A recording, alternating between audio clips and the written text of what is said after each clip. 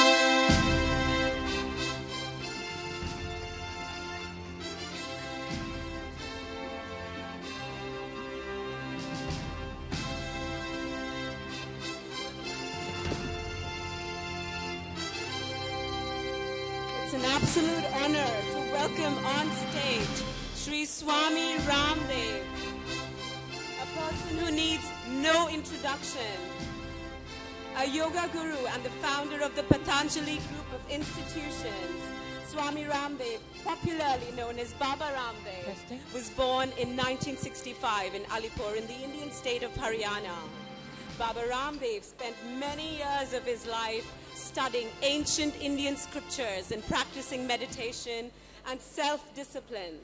He's also the founder of the Patanjali Yoga Peeth Trust in Haridwar, an institution that does research in the healing powers of yoga and Ayurveda. His, his educational shows have been broadcast on many Indian and international TV channels. He's also been awarded with an honorary doctorate degree for his contribution towards popularizing the Vedic science of yoga. Baba Ramdev is a yoga guru known for his work in Ayurveda, business, politics, and agriculture. We extend you a very warm welcome this evening. Ladies and gentlemen, let's give him a heart-rending warm round of applause. It is my absolute pleasure. ये सौभाग्य की बात है I will speak a little bit in Hindi as well ये सौभाग्य की बात है कि गुरुजी अ, बाबा Ramdev yoga Guru who has taken revived uh, the thousands of years old tradition of yoga and revived it for us in India and revived it for the world. Today, over the world, International Yoga Day is celebrated. the credit, of course, goes to our Prime Minister, Mr. Modi, but the great mass revival of yoga, where every person in India revived yoga in their lives, is credited to none other than Baba Ramdev. I always say he is a person who you can ask anyone on the street. Anyone, I mean anyone of the 1.3 billion people in India, and they will know who he is. That is the power of, of his message, of who he is. And we are absolutely fortunate to have him in our midst, encouraging all the women who have gathered here from 100 plus countries over the six days uh, in workshops. This session, particular one, is also being telecast live. Uh, so a lot of people all over India and those who subscribe to that channel in a lot of other countries as well are going to be watching this session and Babaji's message to you live over now. May I now request none other than Swami Ramdev to come and address us.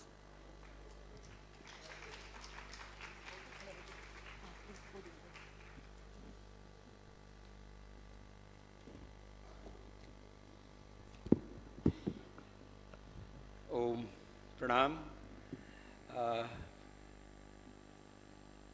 बहन हरबीन अरोड़ा जी से कुछ दिन पहले मुलाकात हुई। I met Mrs Harbeen Arora few day ago and she told me that you come in our programme मेरा basic background योग है. I am basically a yogi and karma yogi my life for yog and for karma yog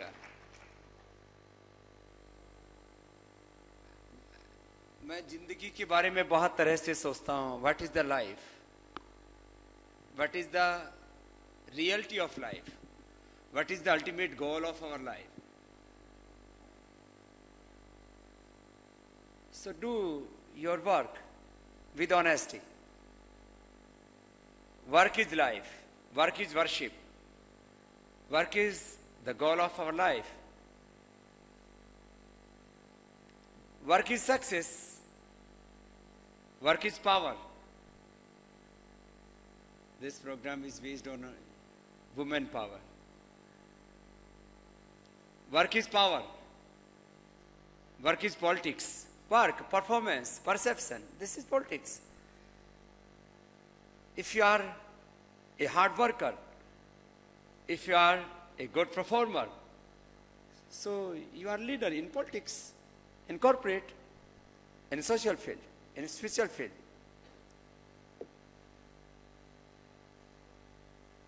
I am a yogi and karma yogi. And if you want success in your life, so you will be a yogi और एक कर्म योगी वैसे भी ladies को बड़ा शौक रहता है फिट रहने का fit fitness you can achieve only through yoga. Yoga is not only a physical uh, exercise. Yoga is also exercise, but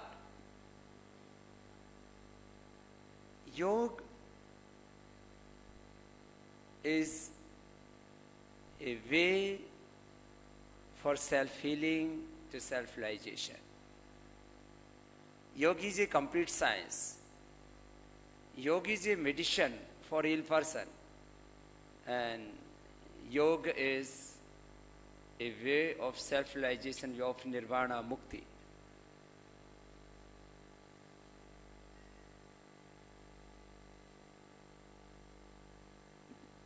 मुझे लोग बहुत तरह से सुनते हैं देखते हैं कि बाबा जी के पास बहुत पावर है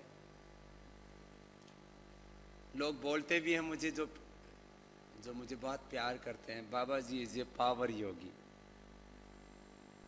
बाबा जी है so many prosperity Baba ji is very famous मैं कभी ये नहीं चाहता कि मैं कभी फ़ेमस बन जाऊँ। मैंने कभी नहीं चाहा कि मैं पावर प्रॉस्पेरिटी पाऊँ। Power prosperity name fame all type of pleasure, and success. These are not my goals. I am doing my work. In morning, daily, I am doing two to three hours yoga. मैं खुद करता हूँ औरों को कराता हूँ और मैं कोई स्टेज परफॉर्मर नहीं हूँ बहुत से लोग ना मुझे परफॉर्मेंस करनी है क्या परफॉर्मेंस करनी है हम योग करते हैं और जिसको पतला होना हो हमारे साथ कर लेता है, कुछ मोटे मोटे यहाँ भी बैठे हैं से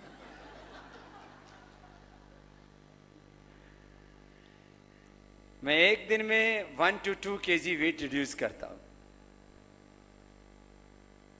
आप में से भी ट्वेंटी ट्वेंटी फाइव बहुत मेरे बड़े ग्राहक है यहाँ पर मैं लोगों को पतला करता हूँ वेट रिड्यूस करता हूँ। मैं लोगों को स्ट्रेस फ्री करता हूँ। Yog is a way for stress free life disease free life drug free life violence free life poverty free life India में प्रोग्राम चलते हैं। पावर्टी कैस, को कैसे रिमूव करना? प्रॉस्पेरिटी बढ़ाओ। पावर्टी तो अपना आप रिमूव हो जाएगी। मैं एक बहुत सामान्य परिवार में पैदा हुआ।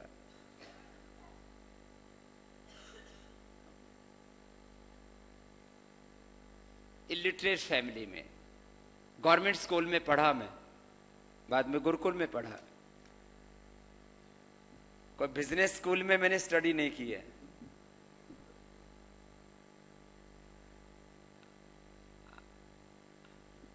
I had done my study in Gurukul. मैं कभी कोई ऑक्सफोर्ड हार्वर्ड कैम्ब्रिज स्टैनफोर्ड पता नहीं क्या क्या I am I I T लेकिन मैं इन सब की अभी बोलती बंद करने वाला मैं इसलिए ये बोलते थे, एक टाई लगाने वाले टाइट जीन्स पहनने वाले यही सब जगह आगे रहते हैं। अब हिंदुस्तान ने प्रूव कर दिया है कि बिना टाई पहनने वाले और हिंदी बोलने वाले भी दुनिया हिला सकते हैं। और हिंदुस्तान में तो भगवा कपड़ा पहनने वाला और कान में कुंडल पहनने वाला योगी सीएम बन गया।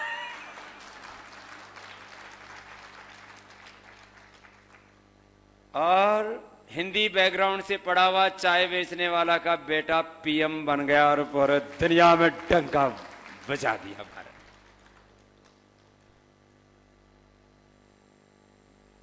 What is your success? Work is your success. Honesty is your success. और कभी भी ये मत सोचो कि तुमको कौन सपोर्ट कर रहा है? किसी से भीख मत मांगो। आप भिखारी नहीं हो। आपको भगवान ने बहुत बड़ी दौलत दी है दिमाग की। यू हैव एवरी पर्सन है unlimited knowledge and unlimited power you use your knowledge your power your strength you have unlimited skill मुझसे लोग बोलते, बाबा जी, आप क्या क्या कर सकते हो? मैंने कहा, मैं क्या नहीं कर सकता, ये बताओ। मैं अच्छी कुश्ती करना भी जानता हूँ, या लेडीज़ हैं, आप लोगों से नहीं करना है। मैं डिफरेंट प्रकार के खेल भी जानता हूँ। मैं एग्रीकल्चर हाँ बहुत अच्छे से जानता हूँ, खेती। मैं बहुत अच्छे से जानता हूँ मैनेजमेंट मैं बहुत अच्छे से समझता हूँ इकोनॉमिक्स पॉलिटिक्स अभी नहीं कर रहा। कोई करना नहीं है, बस ये था पॉलिटिक्स में अच्छे लोग आए। बुरे लोग हम पर राज नहीं करें। करप्ट पर्सन हमको रूल नहीं करे। बस इतना ही है। मैं जानता हूँ मैन्युफैक्चरिंग मैं जानता हूँ मार्केटिंग एक मेरे से बोले, बाबा, आप हीरो, हीरोइन से क्यों नहीं मार्केटिंग कराते? मैंने कहा, बाबा, काफ़ी क्या दिक्कत है? ये कोई ज़रूरी है कि आपको आधे कपड़े पहनने वाली औरत चाहिए। आधा कपड़े पहनने वाला बाबा पर्याप्त है। हम तो ऐसे ही आधे नंगे रहते हैं।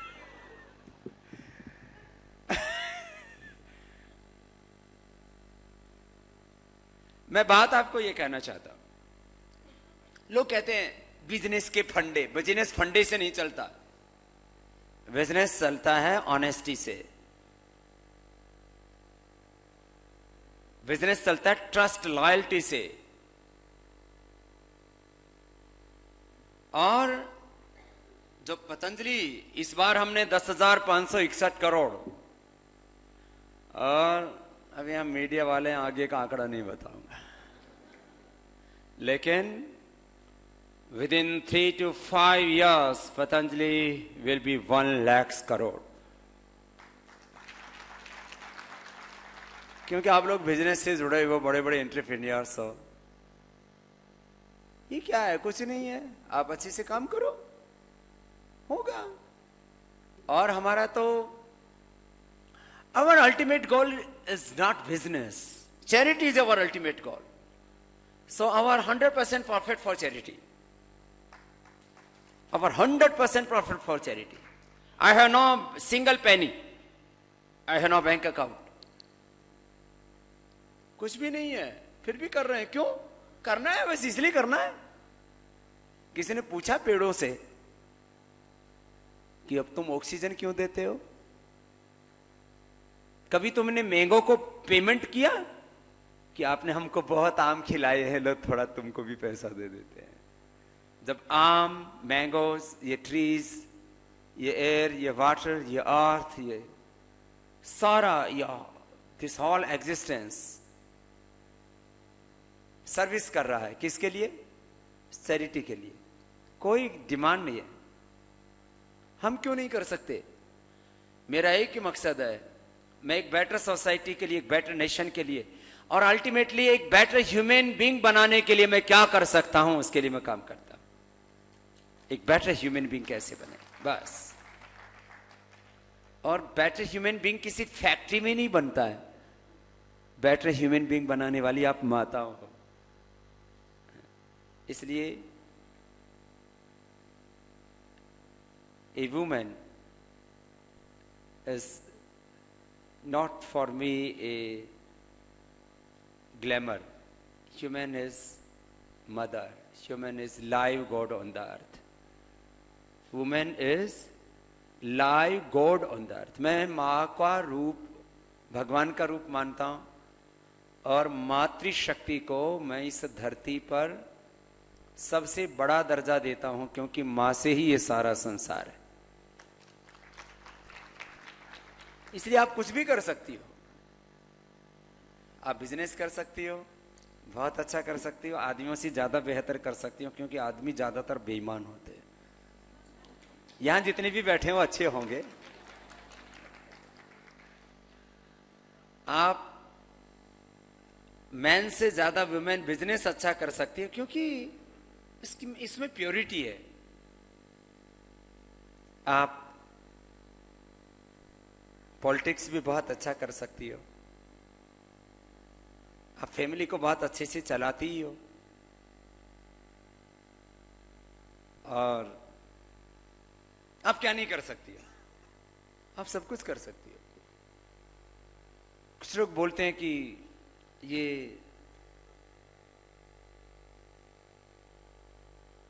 पूरी सोसाइटी ज़्यादातर मैन डोमिनेटेड है। दिस इज़ नॉट ट्रू क्या डोमिनेटेड डोमिनेटेड होता है? ये डोमिनेशन वाला जमाना चला गया।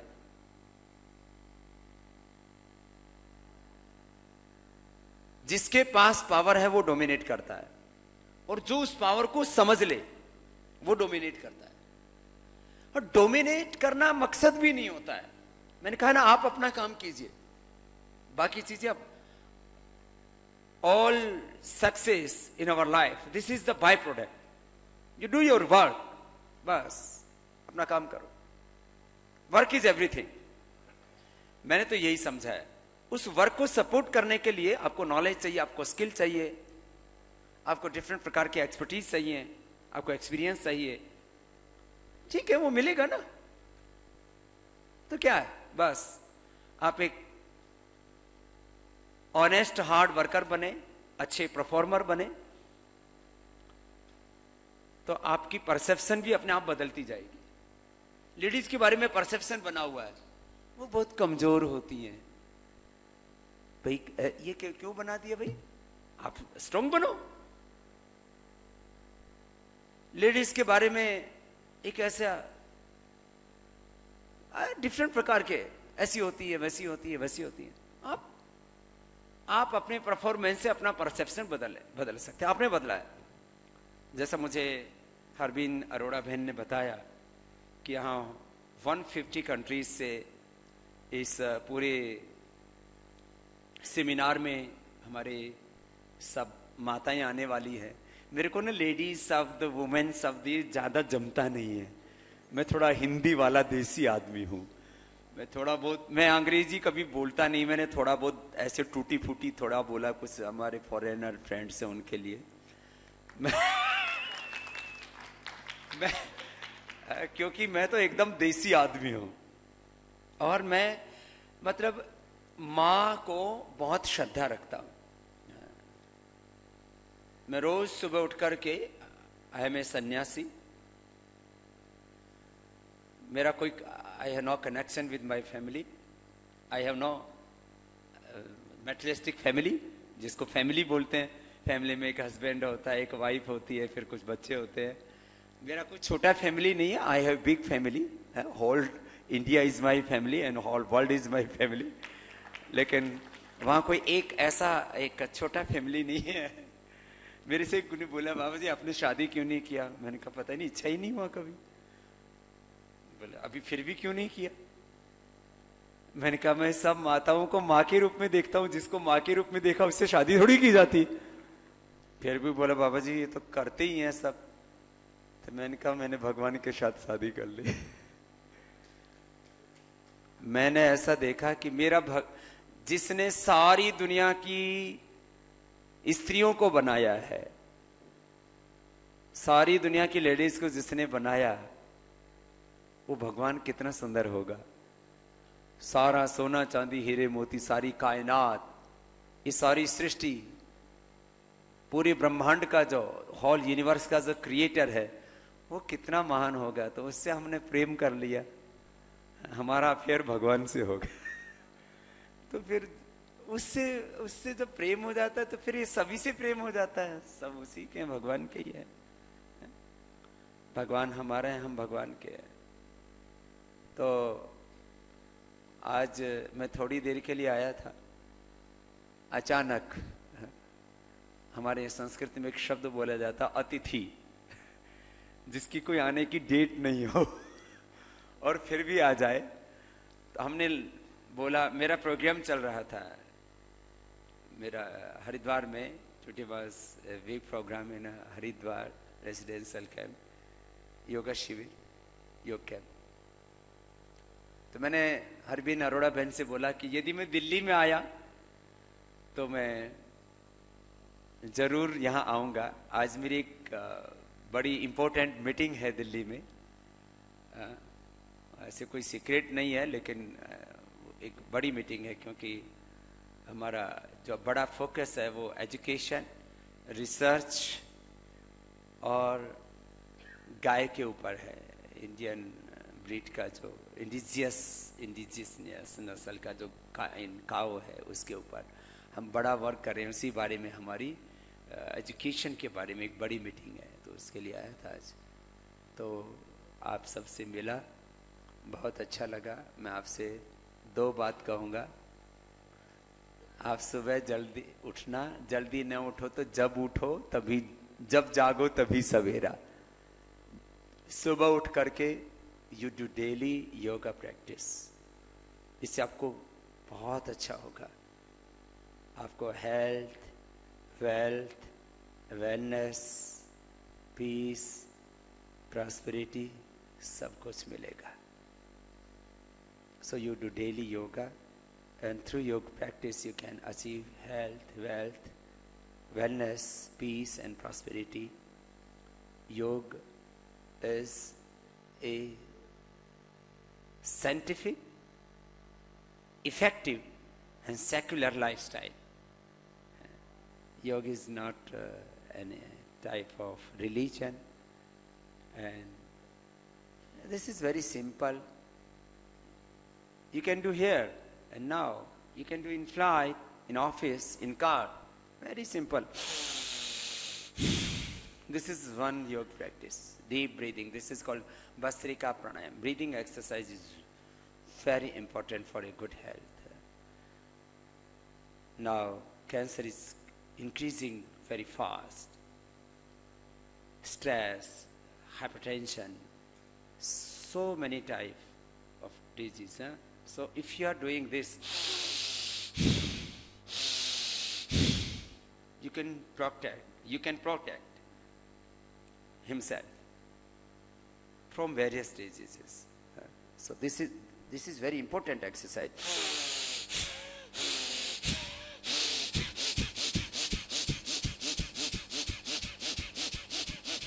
If you are completely healthy, so you can do one to two minutes. और इससे आपको इतनी एनर्जी मिलेगी। यू है energy inside energy is not based in outside हम हम लोग क्या सोचते हैं? Energy is outside pleasure is outside glamour is outside everything is outside मैं I am complete in my self मैं अपने आप में पूरा हूँ, लेकिन मैं तुझ भी अधूरी हूँ। मैं तुझ बिन अधूरा हूँ। लोग पागलों की तरह ऐसे ही। पूरे ही नहीं होते कभी। लगता है पति मिल जाएँगे तो पूरे हो जाएँगे। बच्चे मिल जाएँगे तो पूरे हो जाएँगे। तुम पूरे ही हो। मैं पूरा हूँ। तुम भी पूरे हो। अधूरे नहीं हो कोई भी। खुद भी पूरे हो। वाइफ भी पूरी है, हस्बैंड भी पूरा है, सब कुछ पूरा है, कुछ अधूरा नहीं है। हम अपने भीतर एक अपूर्णता न्यूनता अल्पता अभाव अनुभव करते हैं। पूरा होना चाहते हैं सदा पूरे हो तुम। हमारे तो वेद वेदांत का उद्घोष पूर्ण मद पूर्णमिदम पूर्णात पूर्णमदच्यते पूर्णस्य पूर्णमादाय पूर्णमेवावशिष्यते। भस्त्री का ए, एक एक दूसरा। This is my famous yoga practice this is called kapalbhati तुम्हारी सारी टमी छट जाएगी एकदम स्मार्ट बन जाओगे। ये जो हमारे आदेश त्यागी जी की मिसिज बैठी ना इधर, ये पहले बहुत मोटी थी। ये योग करके इतनी स्मार्ट होगी अब इसके हस्बैंड को इसके सामने शर्म आती है। ये भी इसको बीच में, इस आदेश त्यागी को बीच में पैरालिसिस हो गया था। बुरी हालत थी इसकी।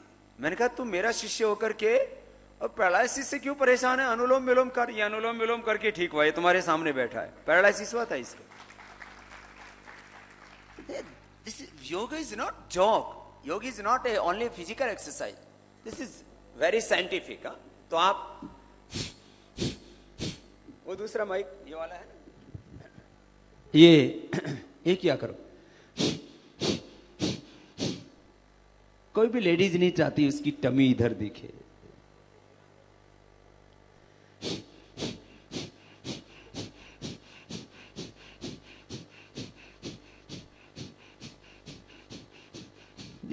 Very simple and very effective for obesity, very effective for diabetes, for constipation. This is very effective for thyroid problem. Kapalabhati and another breathing exercise. This is Ujjayi.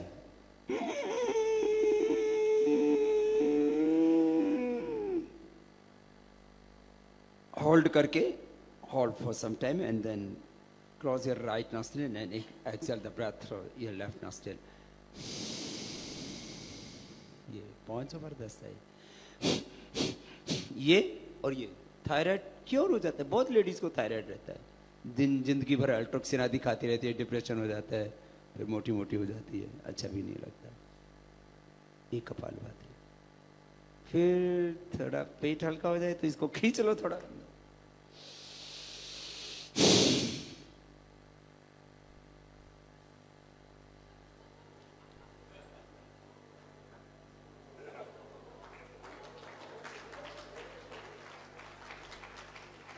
घुमाने में तो प्रॉब्लम होगा।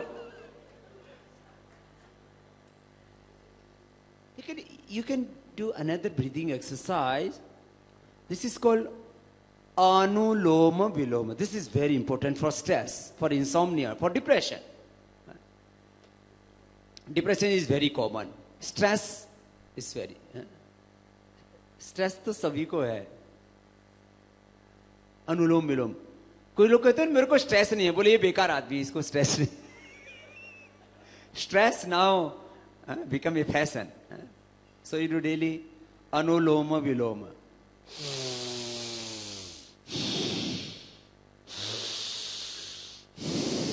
अभी आप इसको करके एक्सपीरियंस कर सकते हो। अभी करोगे ना, एकदम शांत हो जाएगा। एक नई दुनिया में चले जाओगे।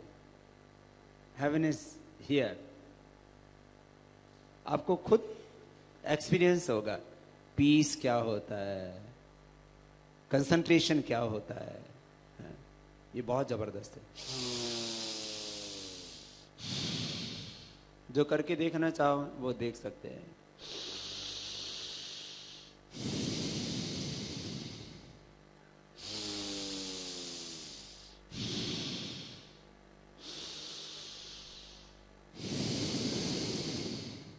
कैसे हाथ रखते हैं this is vayu mudra this is very good for arthritis if you are doing this continuously so you can cure your hypertension you can lap your hypertension medicine hypertension की दवाई भी छूट जाएगी।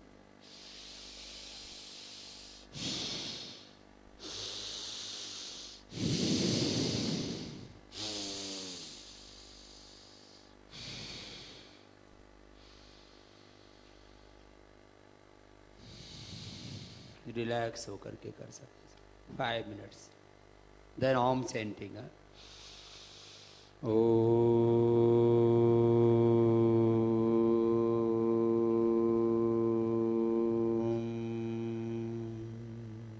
this is a divine sound first inhale the breath and then exhale the breath with the sound of O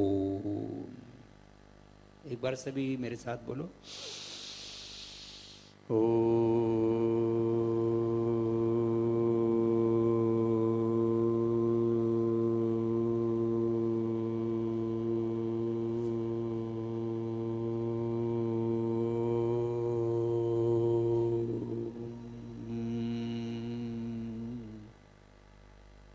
को लंबा बोलो। हम्म, ऐसे फिर मैं को बोलो।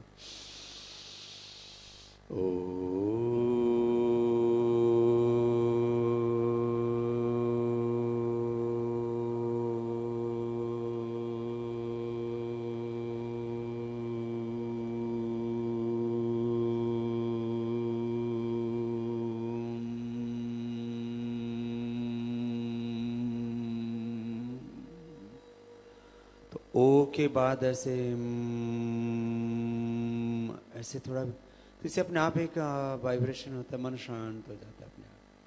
आप इतना भी कर लो दिस इज़ इनफ अब योग में तो बहुत तरह के डिफ़िकल्ट पॉजेज हैं इजी पॉजेज भी हैं। जो मोटे मोटे हैं उनको चार पॉजेज खड़े होके करने चाहिए। एक तो ऐसे ऐसे आप झुकते हैं तो ये ऐसे 25 50 बार ऐसे आप झुकेंगे तो आपका ये जो साइड का फैट है ना ये आपका कम, इधर फैट बढ़ा रहे थे लेडीज़ को ये। किसी किसी को तो पाँच पाँच किलो बढ़ा रहे थे तो इसको कम करने के लिए, ऐसे आप इसको 25 टू 50 टाइम्स कर सकते हैं Obesity के।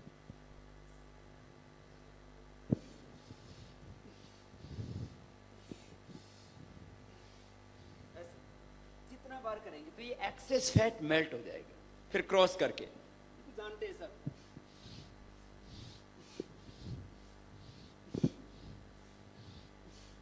बहुत अच्छा। फिर एक आगे पीछे झुकना है तो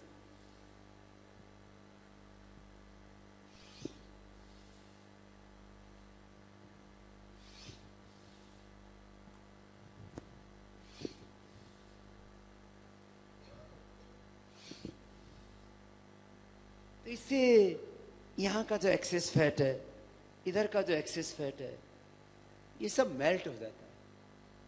तीन एक्सरसाइज है। 25 to 50 times you can do daily, है अब देखो, फिर ये बहुत मोटे मोटे आदमियों को मुझे देख के बहुत दया आती है। ये कैसे चलता है आदमी? और लेडीज़ को देखता हूँ तो फिर उनको लगता है, हे मेरे भगवान, इनको थोड़ा सदज्ञान दे दो। ये थी एक्सरसाइज आप खड़े होकर के। फिर आप एक एक्सरसाइज बैठ के करते हो, उसको ना बहुत इजी है, ऐसे बैठ करके और ऐसे ऐसे घुमाना। आगे पीछे, इसको चक्की चक्की घुमाना कहते हैं। पहले तो लेडीज़ हिंदुस्तान में अपना घर का आटा ऐसे ही पीसा करती थी, आजकल पतंजलि पतंजलि का आटा खाना शुरू कर दिया। ऐसे पच्चीस आगे पीछे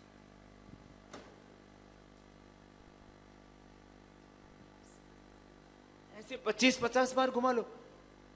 लेडीज़ को ओवरियन कैंसर बहुत कॉमन हो रहा है। एंड जेंट्स को prostate cancer you do daily kapalbhati and this grinding exercise आपको कभी भी, आपको कभी भी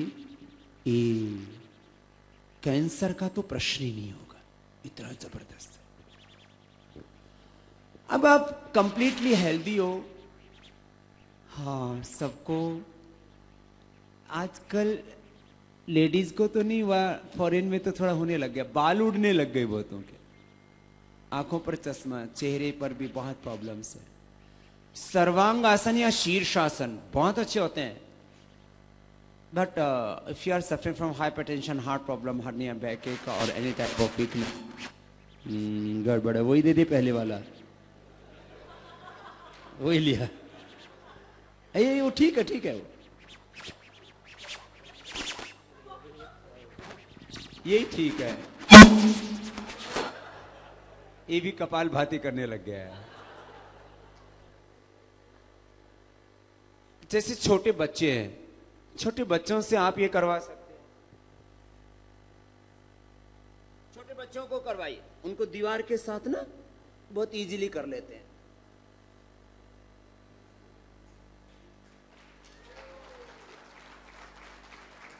जो ऐसे कर लेंगे, उनको कभी आई ग्लासेस नहीं आएँगे।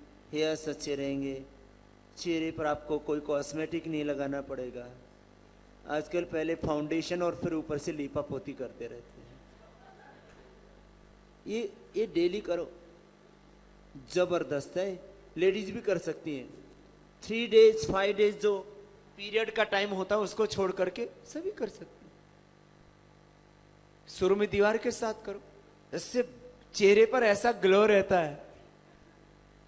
हाँ कपाल भाती करने से हीमोग्लोबिन बहुत अच्छा रहता है। My haemoglobin is seventeen point five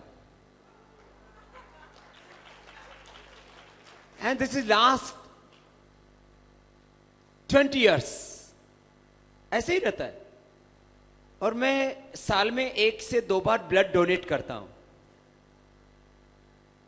वैसे लेडीज़ का तो हर मंथली में ब्लड डोनेट हो जाता है अपने आप। तो तुमको तो ज़रूरी है। कपाल भाती ऐसे तुम्हारा हीमोग्लोबिन नहीं तो कमज़ोरी कमज़ोरी चिल्लाती रहती है। ये किया करो। बाकी ऐसे मैं तो ए, सिखाता ही रहता हूँ। आप लोग मेरे YouTube पर प्रोग्राम देखते रहते हो हाँ? मैं कैंप भी करता हूँ। सुबह फोर टू एट मेरा डेली योग रहता है। हाँ? लोग कहते हैं I am very busy I have no time for yoga भैया, तू बिज़ी है तो तेरा बाबा तेरे से लाख गुना बिज़ी है। जब मेरे पास टाइम है तो तेरे पास क्यों नहीं है? ये तो हमें अपनी प्रायोरिटीज तय करनी पड़ेंगी। What is my priority health is my first priority if I'm healthy, I can do everything. And if I'm not healthy, I cannot do anything. So health is first priority. If you are healthy, you can achieve, मैंने uh, मैंने बोला ना, wealth, power, prosperity, success, all type of success. You can achieve everything. You stay healthy. Or and happy. कुछ लोग ना खुशी नहीं रहते अब यहाँ पर भी हिंदुस्तान की और बाहर के मुल्कों की बड़ी बड़ी औरतें आई हुई हैं। बड़ी बड़ी माँ बहन बेटियाँ आई हुई हैं। तो बड़े लोगों को मैंने देखा वो थोड़े ना अलग नशे में रहते हैं। मैं कुछ हूँ। भैया मैं कुछ भी नहीं हूँ। हाँ, सब कुछ भगवान करा रहे हैं। हम सब निमित्त मात्र हैं। ऐसे भाव जो रखता है ना उसमें कभी कोई गुरूर नहीं आता और मनुष्य की सबसे बड़ी problem the biggest problem of human being is ego and ignorance आप सहज रहो ना। सब कुछ भगवान से है। मैं मात्र निमित्त हूँ। I am only instrument of God बस। ऐसे भाव से खुश रहो, प्रसन्न रहो। कुछ लोग हँसते ही नहीं, मुस्कुराते ही नहीं? मैंने सोचा बड़े लोग होने के बाद ज़ोर से भी नहीं हँसते ऐसे होठों में मुस्कुराते। मेरे से कुछ लोग बोलते, बाबा जी, अब आप एक सेलिब्रिटी हो गए हो, आप थोड़ा ध्यान से हंसा हंसा करो, आप ज़ोर से हँसते हो। मैंने कहा, भैया, ये सेलिब्रिटी में हंसना मना हो तो भैया मुझे सेलिब्रिटी नहीं बनना। या जिस सेलिब सेलिब्रिटी होने का मतलब आपकी हँसी चली गई। फिर ये क्या सेलिब्रिटी क्या उसको ओढ़ोगे बिछाओगे खाओगे पियोगे? मस्त रहो। मेरे को पिछले दिनों एक हंसने वाले प्रोग्राम में बुला लिया। यहाँ इंडिया में एक शो चलता है कपिल शर्मा का शो वो उस दिन बेचारा वो, वो चुपचाप बैठ गया। मेरे से बोले बाबा जी आ गए अब अपने आप हंसा देंगे। हंसाओ सबको, फंसाओ नहीं किसी को भी। देखो, मैं आपको इसलिए बोल रहा हूँ, खुश रहो ना। कुछ लोग कहते बाबा जी कैसे खुश रहे कुछ है ही नहीं ज़िंदगी में। मैंने कहा, क्या गड़बड़ हो गई? अरे, भगवान ने हमें इंसान बना दिया और क्या चाहिए? I am a human being I am a woman I am a man उससे वो ज़्यादा this is my ultimate wealth ये मेरा सबसे बड़ा वेल्थ है, सबसे बड़ा ऐश्वर्य है, ये मेरी सबसे बड़ी प्रॉस्पेरिटी है। मैं एक इंसान हूँ। I have unlimited knowledge unlimited power unlimited skill सारा ब्रह्मांड मेरे पास है। मैं चाहे ब्राह्मण हूँ, क्षत्रिय हूँ, वैश्य हूँ, पंजाबी हूँ, गुजराती हूँ, मराठी हूँ, क्या है? मैं इंसान हूँ ना तो मैं खुश क्यों ना रहूँ? तो खुश रहे। खुश कहते बाबा जी पैसा नहीं है, कैसे खुश रहे? मेरे पास भी कुछ नहीं है, देखो। एकदम नंगा आदमी हूँ। खुश रहता हूँ, सबको खुश रखता हूँ। खुश रहो। औरों को खुशियाँ बांटो। खुशियाँ बांटने के लिए आपको पैसे की ज़रूरत नहीं पड़ती है। खुशियाँ बांटने के लिए आपको कुछ बनने की ज़रूरत नहीं पड़ती है। एकदम सहज हो जाओ। आपको पीएम सीएम बनने की ज़रूरत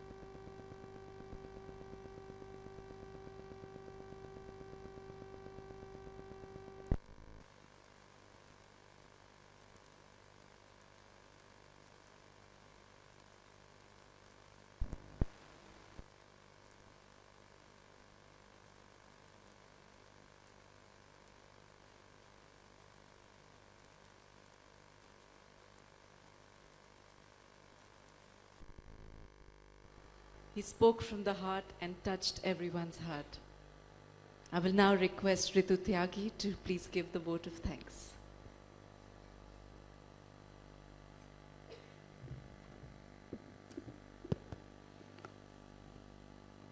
thank you हरबीन ji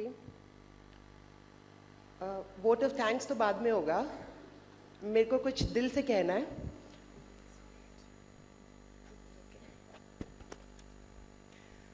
I would like to begin with a quote by my own very daughter Maima, Maima Tyagi, who identifies as a young entrepreneur of 18. The quote begins I imagine women not as statues covered with flesh and skin, but everything beautiful in the universe. All the austerity, spinning, lurking, floating amidst the grandeur of the world. I see women as power and I see them as mercy. I see women as vanity and as simplicity. I see women as tactility and as purity. Women are the creator of human life, doubtlessly the core of human existence. A woman is an enigma, way beyond a mere combination of flesh and bones. Unquote. Good evening to all present, beautiful ladies. Firstly, I would like to offer my profuse felicitations to our Reverend Swami Ramdevji for accepting the invitation to the conference so held in the honor of all the strikingly passionate women entrepreneurs from around the globe Swami ji ये basically आपके लिए आपका थोड़ा सा ध्यान चाहूंगी आई comprehend a stark resemblance of great Swami Vivekanand every time I see Swamiji present here. Dating back to year 1893, Swami Vivekanand himself won the hearts of many at Chicago, USA, with his famous speech beginning with my Brothers and Sisters of America. Swami Ramdev ji carried forward the legacy by addressing a gathering at the same very place about a century later.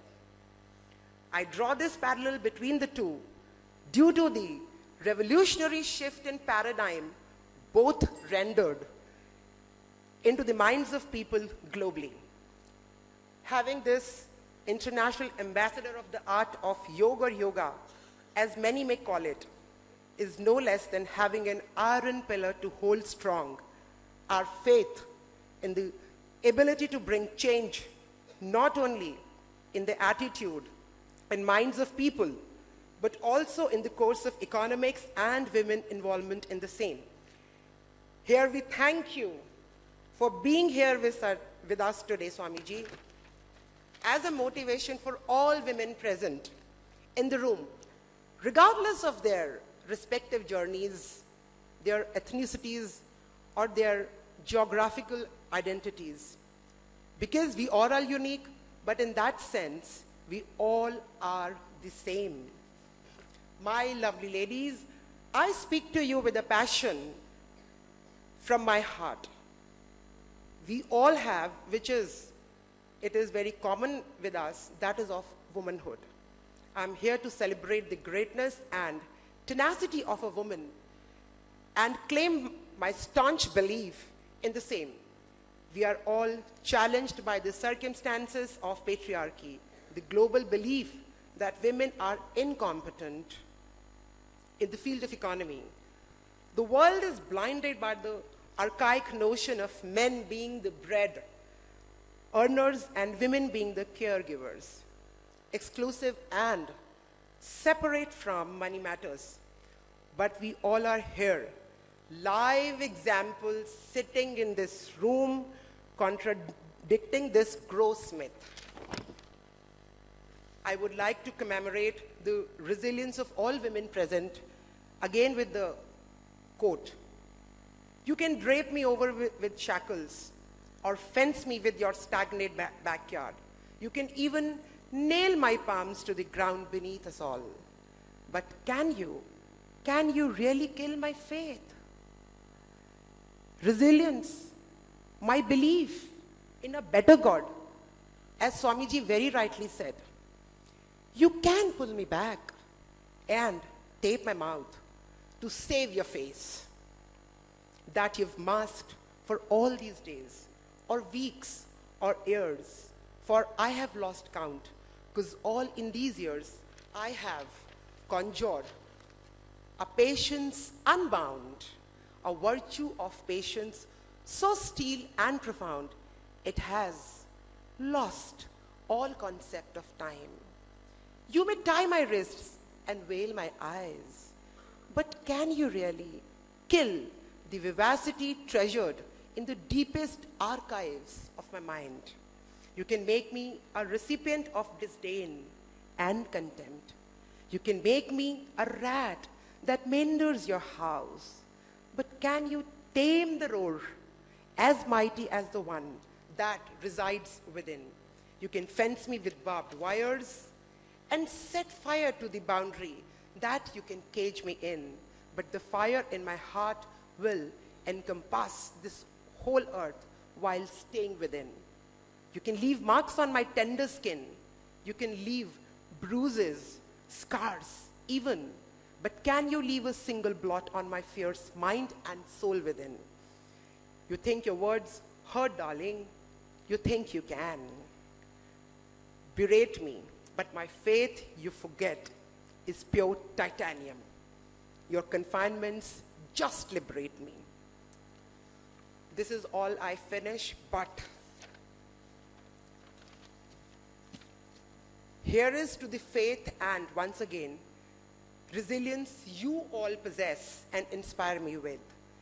Let us challenge the belief of the greatest economist of the India, Chanakya, that women and money matters are not to be mingled by reaching the pinnacle of economic growth and prowess. Cheers. Before I finish, I know that I've written everything in the pages. वो सिर्फ़ इसलिए था कि कोई भी mistake नहीं होनी चाहिए। We have a powerful positive people sitting here और स्वामी जी हमारे साथ हैं। उनकी शान में सिर्फ़ दो लाइनें कहना चाहती हूँ। इस देश में चंद वर्षों से, राजनीति के गलियारों से, भ्रष्टाचार रूपी रावण ने जन्म लिया। और ये वो देश था जहाँ पर सिर्फ़ संतों और योगियों ने जन्म लिया है, और हमारे देश को आगे बढ़ने से कोई रोक नहीं पाया। पर राजनीति की भी अपनी अपनी सीमाएँ होती हैं।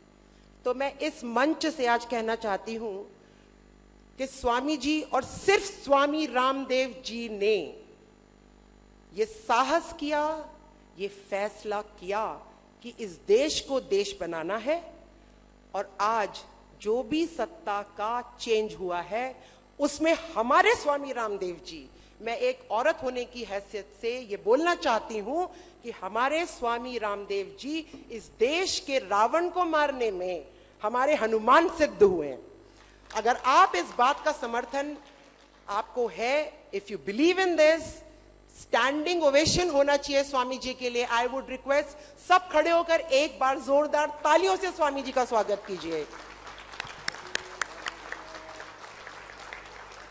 इन्हीं शब्दों के साथ मैं अपने शब्दों को विराम देती हूँ। धन्यवाद Swami ji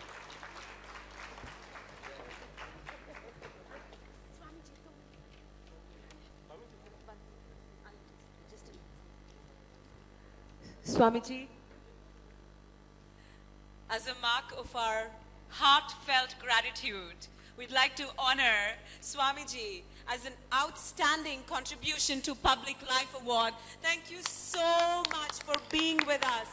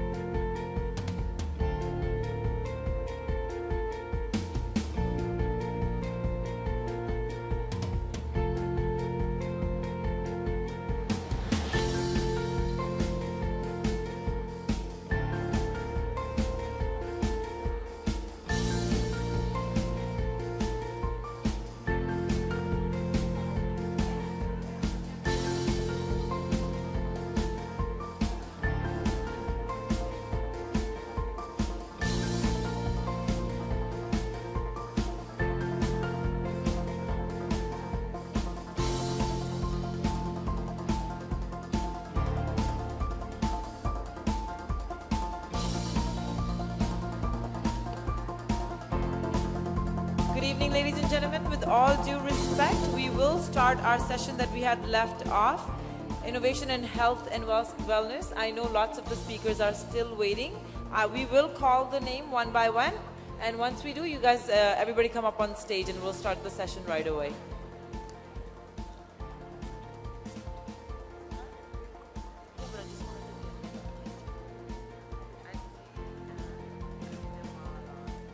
Our first speaker is Adedamola Ladejobi, a nutritionist from Nigeria. Can I welcome her up on stage?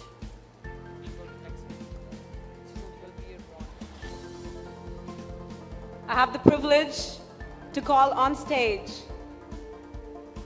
Bilay Want. Are you here, Bilay? A dear friend.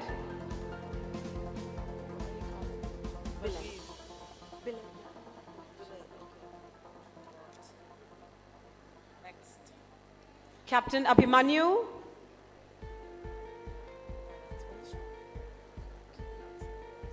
Dipika Trehan, Dr. Nazneen Akhter. Dr. Sujata Sanjay, Elizabeth F. Marazita. Esther Thane, Fatima Kane.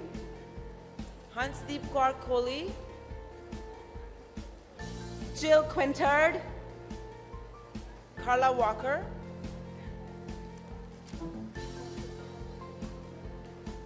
Kintla Striker,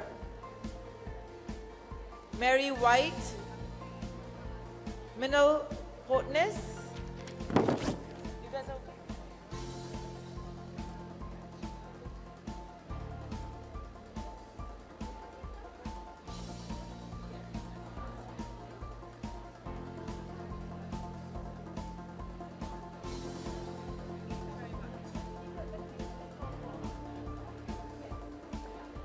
Monireh Ayoubzadeh,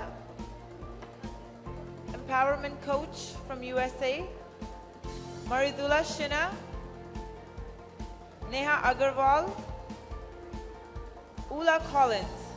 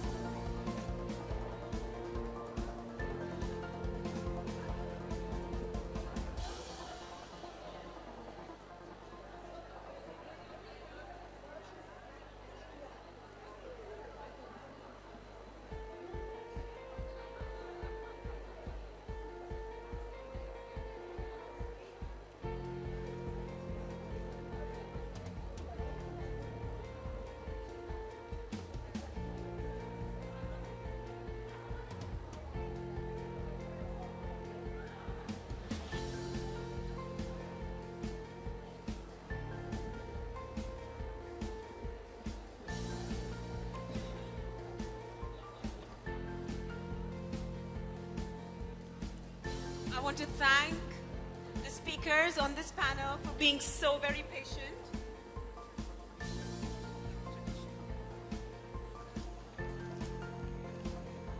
I'm also calling on stage Urmila Chanam from Breaking the Silence, Bangalore, India. Let's get a little bit of blood flowing.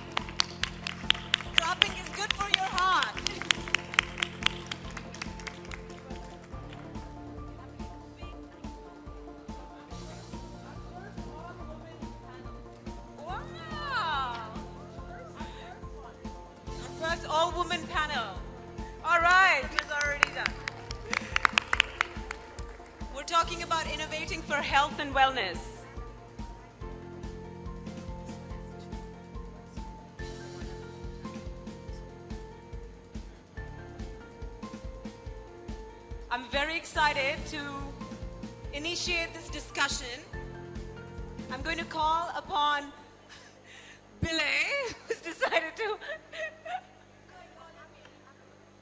Are you falling over? Okay. Inviting on stage Balbir Want, the director of Sampurna Limited, coming from, uh, from the UK. Balbir, come speak with us.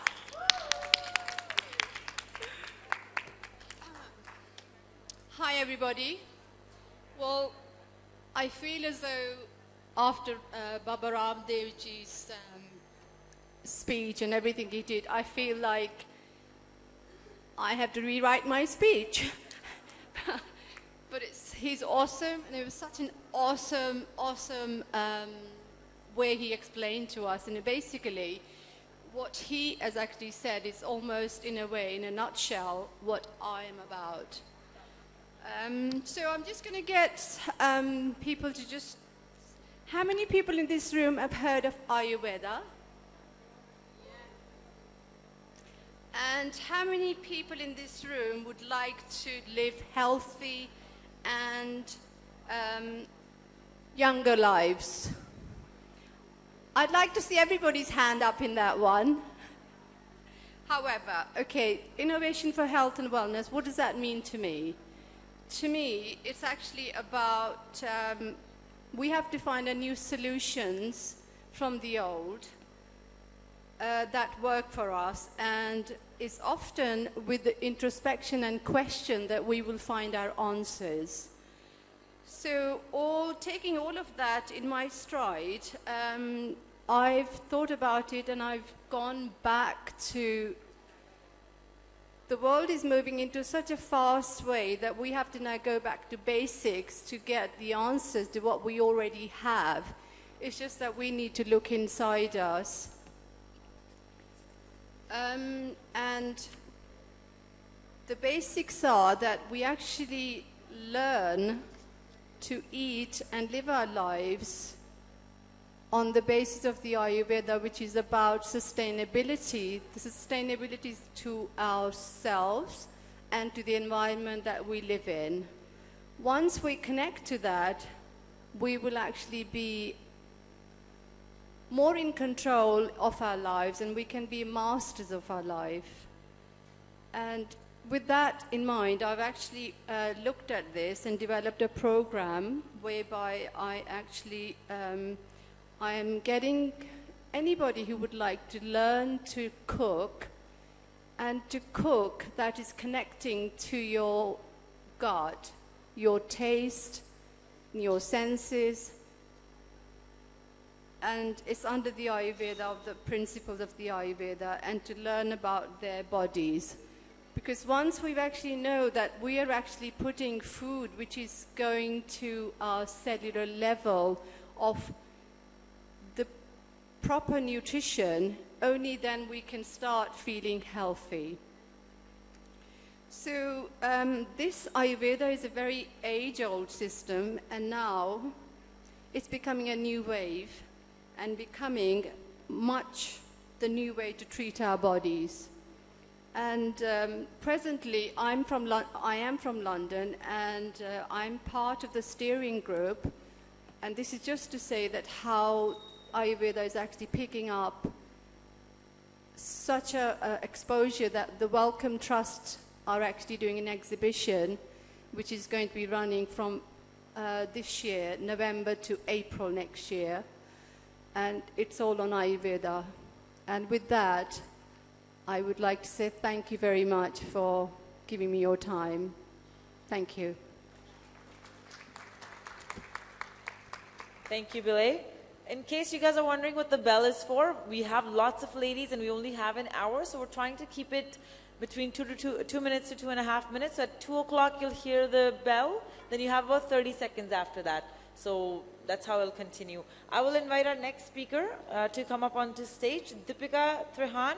She's the founder, Health of Women from India. A big round of applause. She's been waiting for a while, and you look lovely. Come up on stage. Good evening, ladies and gentlemen.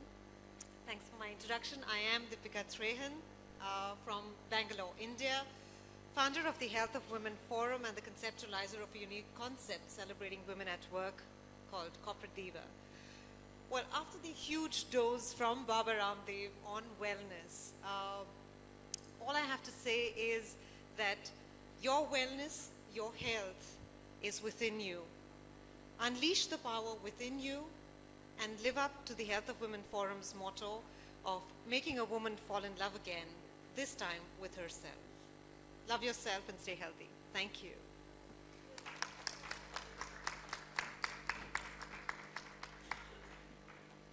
Thank you for that powerful, short, and sweet message. Thank you so much, Dipika. I call on Dr. Nazneen Akhter, the Executive Director of HASAB, coming from Bangladesh. Welcome, Doctor.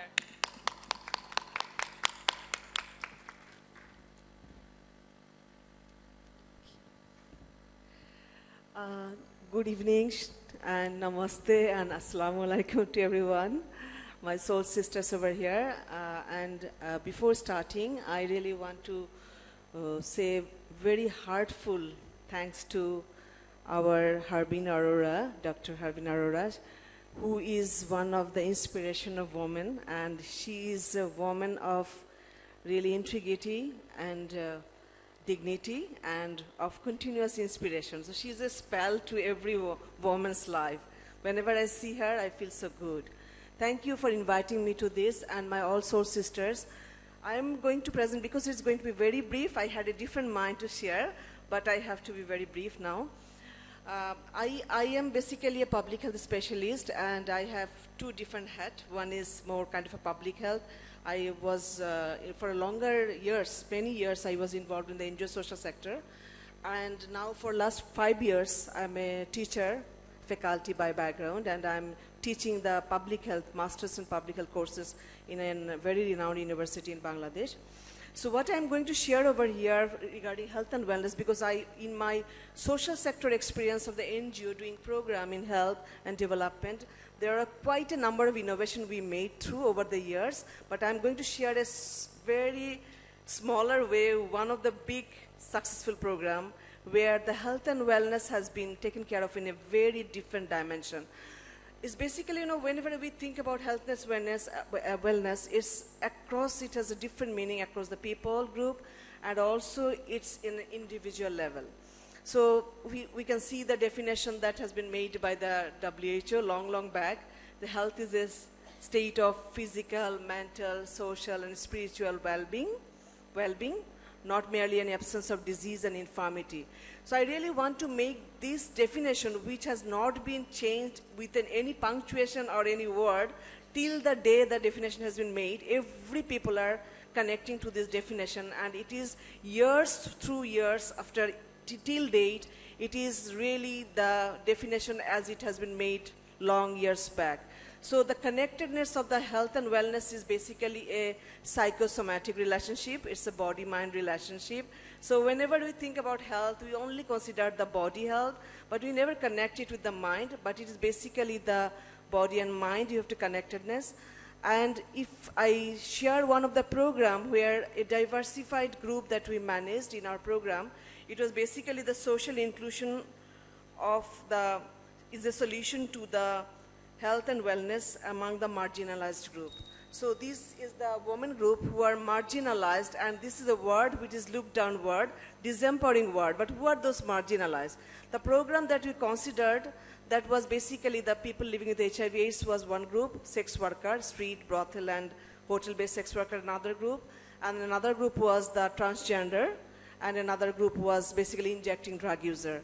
So basically what we did, we tried to make a kind of a sense of solidarity development among them because they were looked down, they were discriminated, they didn't have any access to healthcare, they were depressed, and they were kind of an isolated community. From the mainstreaming, they were totally, you know, uh, moved away. So through our program, doing awareness, doing a little bit of leadership development, doing a self-help group management, we develop them ultimately. And at the moment, if I tell you, over the five to seven years of this program, now they have access to healthcare. The transgender has an identity, so they are considered as third gender in Bangladesh. And also the people living with HIV are courageous women. They're living very strongly. They have access to healthcare, and they have also discrimination is reasonably taken away. So these are the immediate success of the program. But if I look to the later impact of the program, I can better claim that, you know, the, these groups at the moment very strongly they have a sense of solidarity. They are managing their program. So one of the NGO, this is positively people run the NGO and they are the leader for this program. They are managing the global fund for by themselves. They are the people living in the HIV group. So all the self-help group that we developed, they become a big, big NGO by the time, five to seven years. So this is basically, you know, whenever you think about a health and wellness issue, it's not only the individual, it can be across the community and now these women, they have their ability to manage their own health, their own wellness in a different dimension. So I really wanted to bring out this issue not in a personal end, rather than a more kind of a marginalized community end. Thank you very much for giving me the opportunity. Thank you. Sorry for cutting you ladies short, but it's just that there's so many of us and we have another session. So we'll make it personal, something that we'll take home. And I will invite my next speaker now, Dr. Sujata Sanjay. Uh, she is a gyneco- leading gynecologist from India. Big round of applause for Sujata.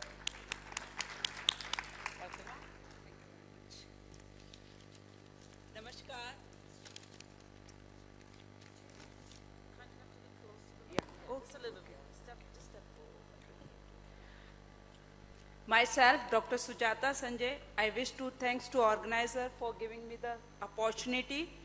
And I am proud to be only gynecologist in India selected by the government of India as a 100 women of achievers.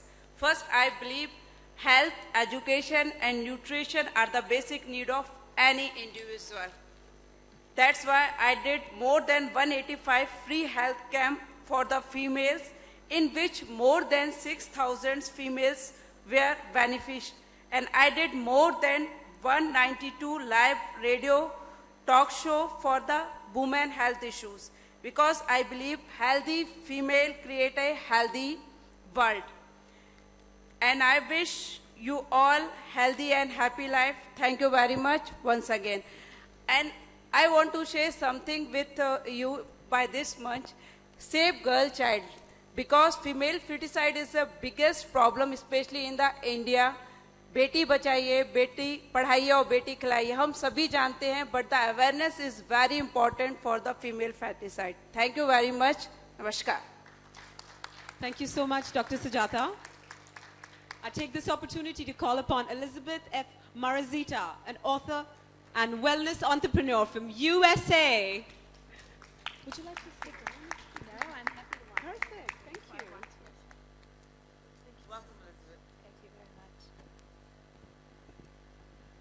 I'd like to thank our incredible Dr.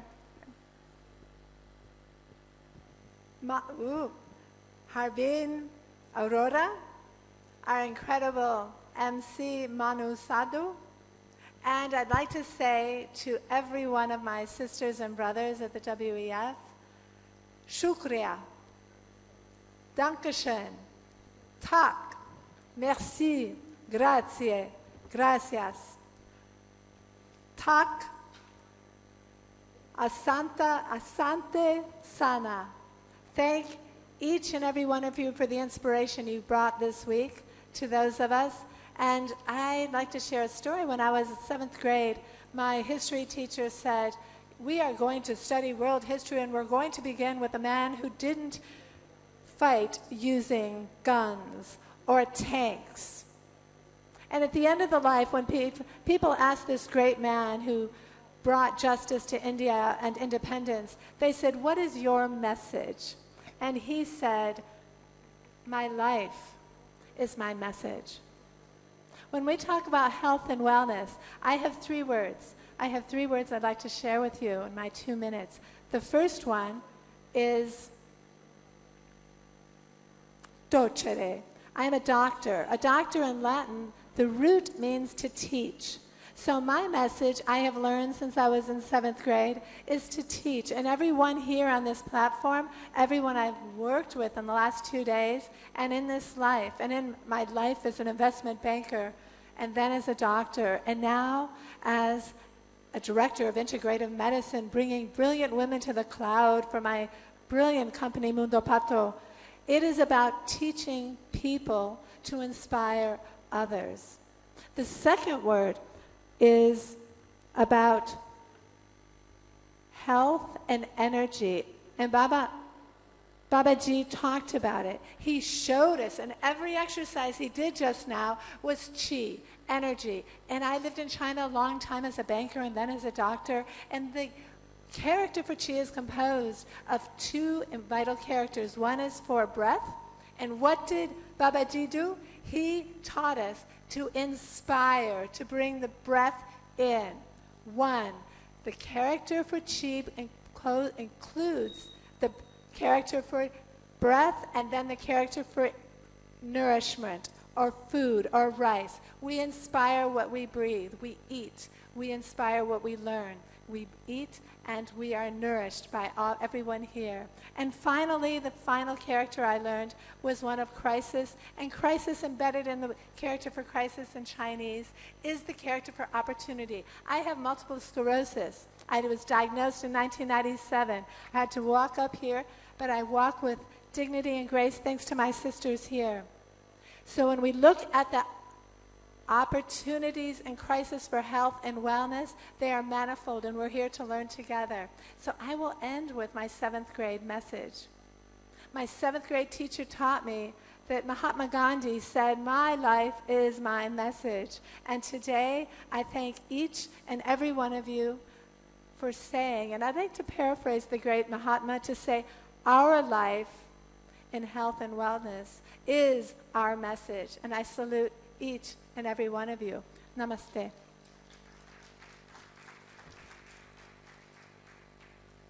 Thank you, Elizabeth, for that inspiring message. Definitely, health is the most important thing for us. Uh, next, we have my hometown girl, well, Esther Thane. She's coming all the way from Vancouver. She is an executive director at Mondo Pat, Pato uh, Insing from Canada. So, big round of applause for her.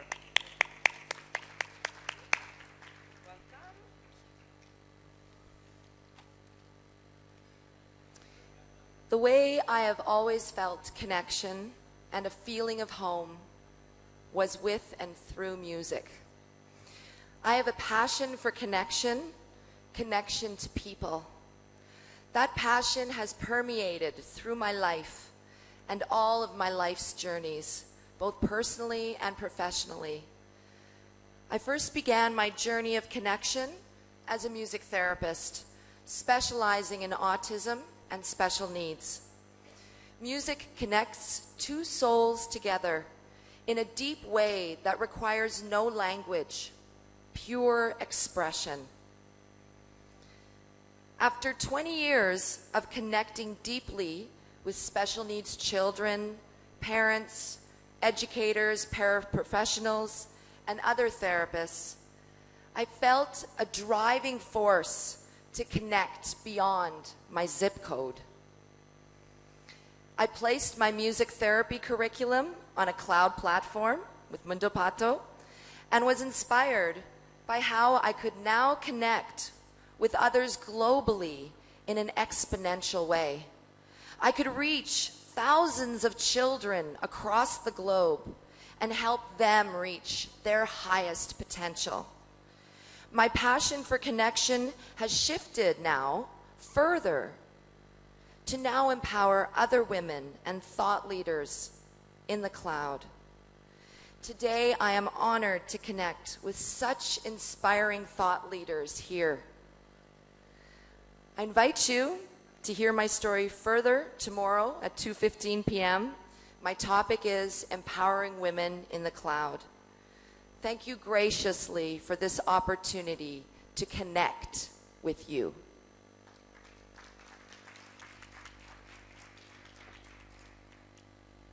Thank you so much, Esther, for your articulate words. We thank you for being here as well. I do call upon Hansdeep Kaur Kohli, a researcher from India. Welcome. Good evening, everyone. I am Hansdeep Kaur Kohli. I'm an anthropologist.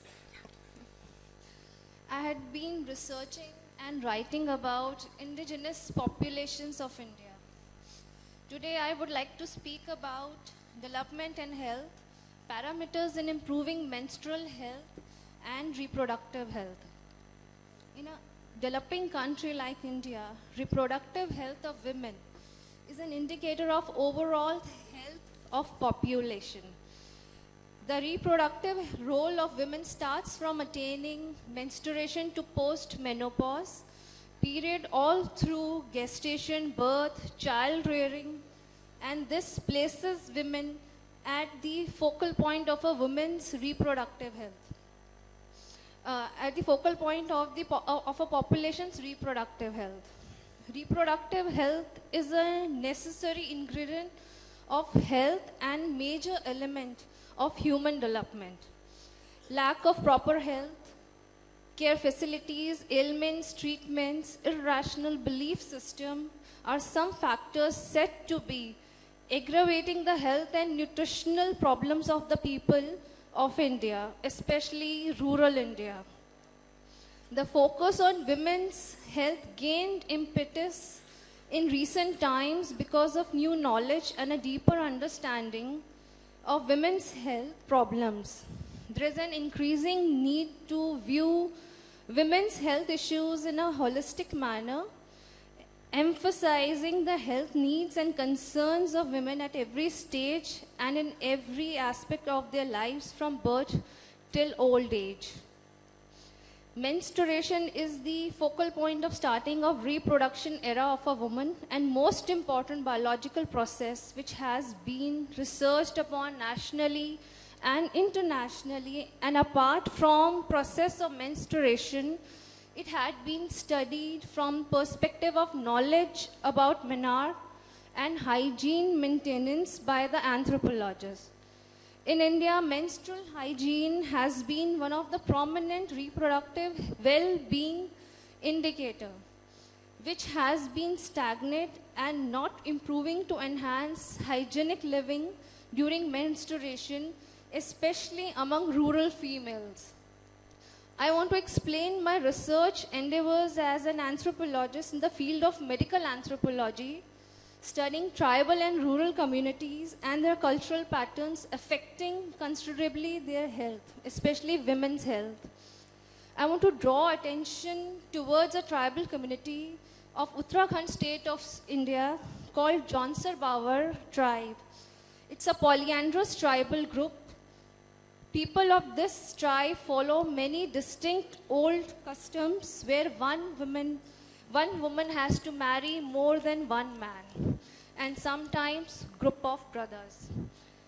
Today I want to highlight beliefs, conceptions and source of information regarding menstruation among females and to find out status of menstrual hygiene and to analyze problems faced by these females during menstruation.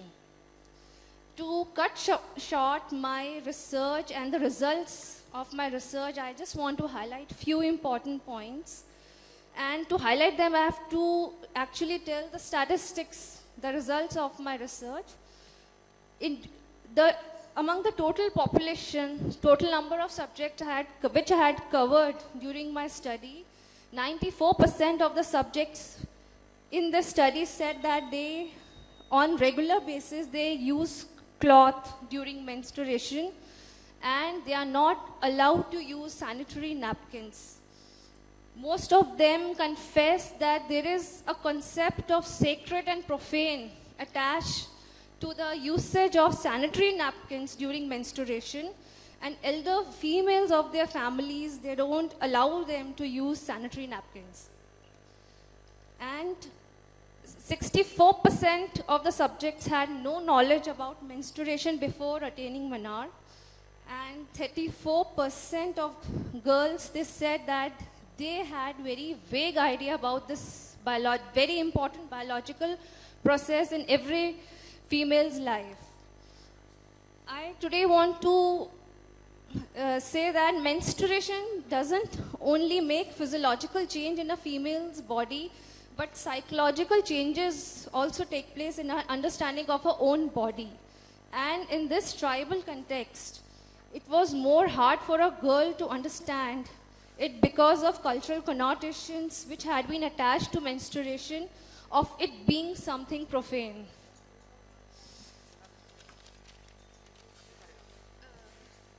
I want to conclude today as there is shortage of time. Uh, this study highlights need to educate females about menstrual hygiene and provide them with adequate information about practices of hygiene. The information regarding use of sanitary napkins, cloth should be made available to tribal females for the purpose of enduring them to create a better world for themselves. Uh, Females were suffering from numerous infections like vaginal discharge, redness in vagina, urine infection. And some, uh, these were the common infections which were found.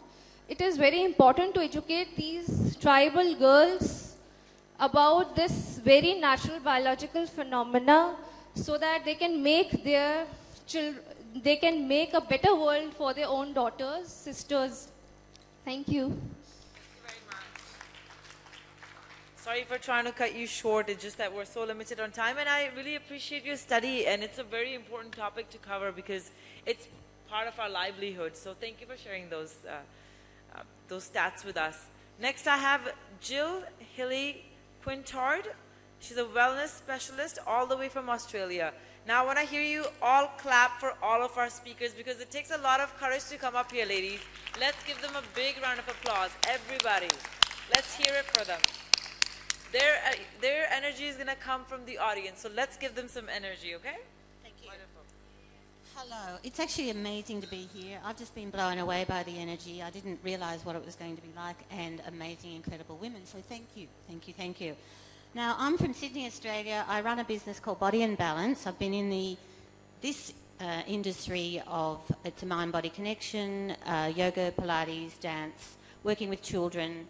Uh, I'm ex-teacher for children with special needs, but all of those areas have come together to form who I am today. I also uh, train a massage therapist as well, so a lot of anatomy and physiology and understanding of the body. And 37 years I've been in this industry. Um, I have a bit of a story though. I uh, worked my body ridiculously hard. I came from a dance background, extremely hard uh, on, on your body. And so I believe that you needed to work incredibly hard to have uh, uh, the discipline to dance or whatever you were doing. Um, I did a lot of yoga, and in 1997, I was in a hot yoga class and I had my labrum tear, and the result was a hip replacement. And this is where I'm at now. I do not, I, I, I, dance all the time, I teach every day, and I healed myself incredibly well. But I disagree with the, uh, the way of thinking of working so hard that you harm your body. So, my innovation for health and wellness is that you look after your body. You think, you do your intuition to find out what suits your body, what suits your mind, and it's the balance of your mind and body that is going to increase your health and wellness. This is what most of the people have been saying here. I also do corporate and I work with children. I've written a book, and that book is on Amazon, and it's Yoga Pilates Fusion. So I fuse the two things together. I think I do the the beautiful poses of yoga. This is exactly what I do, and the core and strength of Pilates, and then mix that with Yoga Nidra, the waking sleep. Yoga Nidra I've taught now for 40 years, and I'm the only teacher in Australia right now who has been given permission to train the teachers in schools how to train the children in Yoga Nidra because that produces better productivity, less stress, bullying decreases, children have higher self esteem. So I'm working very much in the area Yoga Nidra, Yoga Pilates Fusion, working from the body, the mind, and balance of the spirit. Thank you very much for allowing me to have this time. Thank you. Thank you, Jill. It's so lovely to know you're doing such unique things in Australia. And I want to, I want to have a session of your yoga nidra. It sounds blissful. we have Bilay as well. We're two of us. Where do we enroll? I'm calling on Kintla Striker, founder and CEO Kintla Yoga, coming from USA. Welcome, Kintla.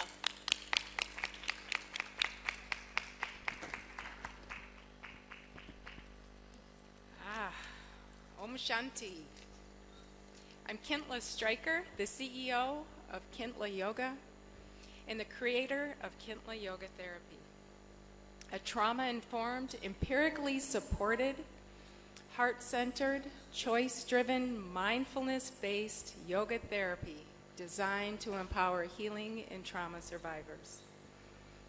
Our mission is to educate, to teach, and to empower all human beings who have experienced trauma in any form with compassionate and well researched yoga and mindfulness practices. It is an honor to be here and a big dream of mine uh, to launch my work globally on the Mundo Pato cloud. I am a trauma survivor. Each and every one of us in this room tonight is either a trauma survivor or close to, uh, have, has a close personal friend or family member that is a trauma survivor. Yoga helped me heal.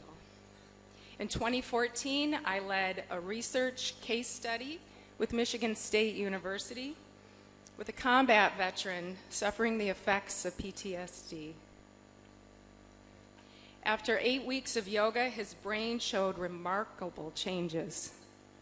Among uh, many items, his working memory capacity more than doubled, and his PTSD symptomology disappeared. Eight weeks of yoga.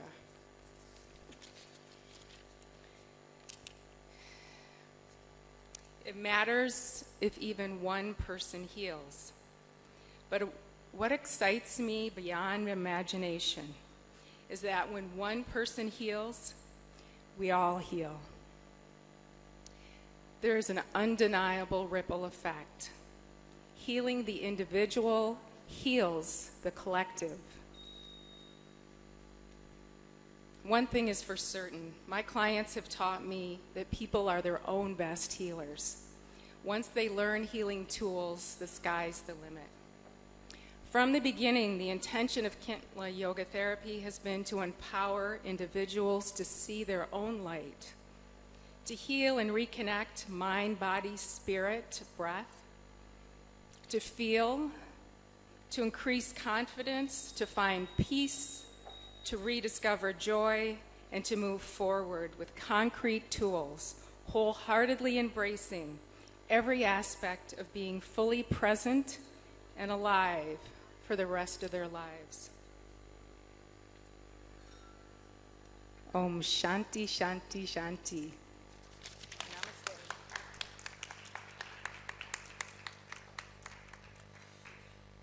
Thank you, Ms. Striker, for that lovely, lovely, inspiring speech, and your voice is so soothing. Uh, next speaker, I have Mary White to come up onto stage. She's a counselor and clinical hypnotherapist, all the way from the UK. So, big round of applause for Mary. You, love, you look lovely in blue. Thank you. So Welcome. Uh, good afternoon, everybody. Um, I'm so inspired to be here. It's wonderful to be able to uh, share a few moments with all you wonderful soul sisters, and of course, I have to include our soul brothers. Um, I'm from the UK, and uh, I'm a hypnotherapist and a counsellor. Um, and I work with a number of issues, as most hypnotherapists do, but I actually uh, specialize in addiction. I try to help uh, people who have um, alcohol dependence or drug problems. Um, now, the reason why I decided to specialize in that area is because I have a history um, I used to live in South Africa and I had very difficult times there. I lost my partner um, to um, alcohol addiction, and uh, through my recent years, I was inspired to uh, study counseling. Um, I sort of fell into hypnotherapy, which I felt was a very powerful medium uh, to help people heal.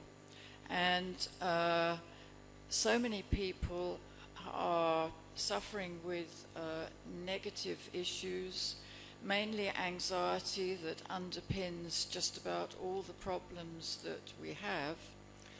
And um, therefore, most of the people that come to see me do come with anxiety issues. But as I said, I specialize in addiction, and I am very pleased to say that I've been able to help quite a few people, both male and female, to uh, recover from um, their addiction and go on to live normal lives. Uh, so, my role really is to help people heal by turning negative um, thought processes into positive positivity and joy in their lives through the use of hypnotherapy. Uh, hypnotherapy is something that's very uh, misunderstood, but hopefully um, it is an innovative method uh, compared with the conventional Alcoholics Anonymous method, but um, I consider it to be the way forward to help addiction. So thank you so much for listening to me. Um, I'm very proud to be able to be here today. Thank you.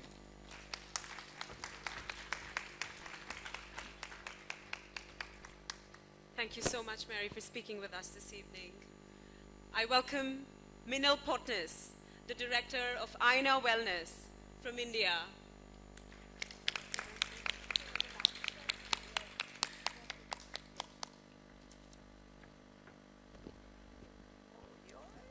Thank you. Good evening, Soul family.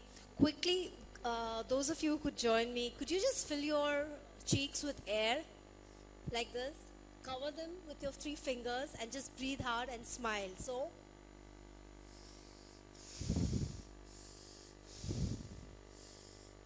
and relax. Quickly again. And smile. Hold that thought and relax. Just to give you a little perspective on my of my life in the face yoga universe. My expertise in Southeast Asia. My dad was a widely uh, traveled man, and because of his work, I also traveled with him and got to know that there are, in some parts of the world, alternative therapies. And when I took a dive into face yoga, initially to find a good treatment for my father, the study soon became a passion. And now I take this as a profession, which my aim is to reach out to the millions because face yoga is beneficial for everyone globally. In the name of beauty, health, and wellness, face yoga. What is face yoga? An intensive rehabilitation and beautifying technique that requires a scientifically standardized set of exercises. What we just did was just a small um, drop in the ocean to improve muscle coordination, tonality, and circulation in your face. It's a simple, non invasive way using 57 muscles of your face, neck, and scalp to increase circulation, oxygen, toning, and rejuvenate the cells from the inside out. I have an MBA in HR and over the 25 years uh, experience in top management. And this has helped me to evolve face yoga into a program for anti-aging and stress management. Currently, we are interfacing with neurosurgeons, cosmetologists to align this program for issues of autism, ALS, muscle dystrophy, and now uh, stem cells as a rehabilitation part of it. So um, my, uh, this particular journey has been very interesting, eight years, and I'm quite confident that this new age technology applied rehabilitation using facial muscles is the near, new future or in the near future can be directed towards health of the common man for a common cause. Thank you, Jai Hind.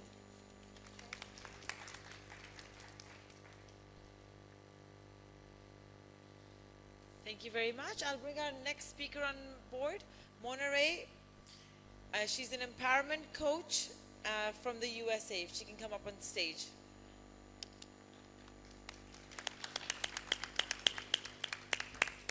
Welcome, Monireh.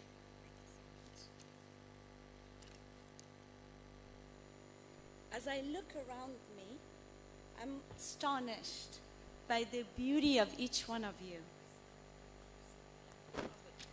I see these beautiful and dazzling dresses presenting, representing the glorious garment of service with the dazzling diadem of love as you spread your energy, your joy, and your love to each one that comes in contact with you.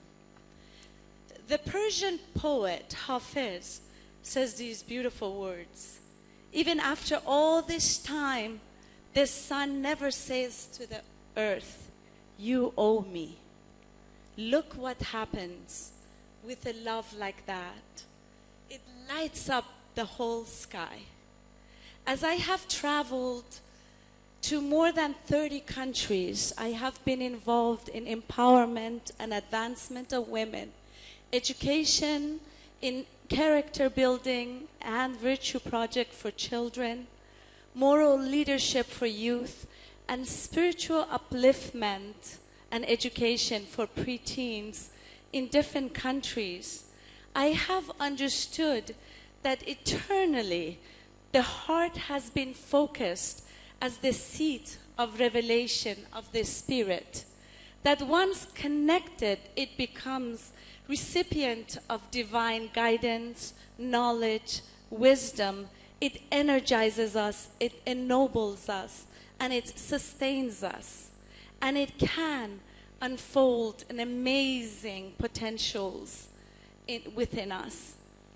But now, the last uh, few decades, the scientists have found great revolutionary studies that heart is more than a most powerful organ in the body, that it has an intelligent system, that brain and heart have electromagnetic field, but the electromagnetic field of the heart is 5,000 times more stronger than the brain. That it has its own nervous system and actually has molecules of kindness called oxytocin. It keeps us young, it uplifts us, it energizes us. And when there is acts of kindness, it creates ripple effects that more than 50 to 100 people are affected by one single act of kindness. And that with those acts of service, as it brings happiness to us, immediately we look, our heart seeks to bring happiness and kindness to others. So, as the, the science is now proving that once the heart creates harmony and coherence with acts of passion and love, that can illuminate the whole world. So powerful is the light of unity and love that can illumine the whole world. Thank you so much.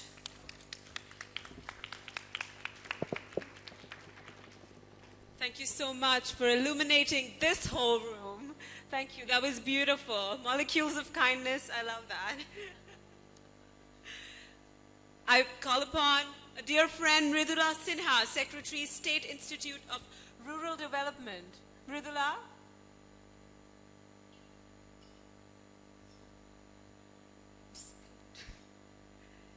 Neha Agarwal, Strategy and Planning Expert, Reliance Jio Infocomm.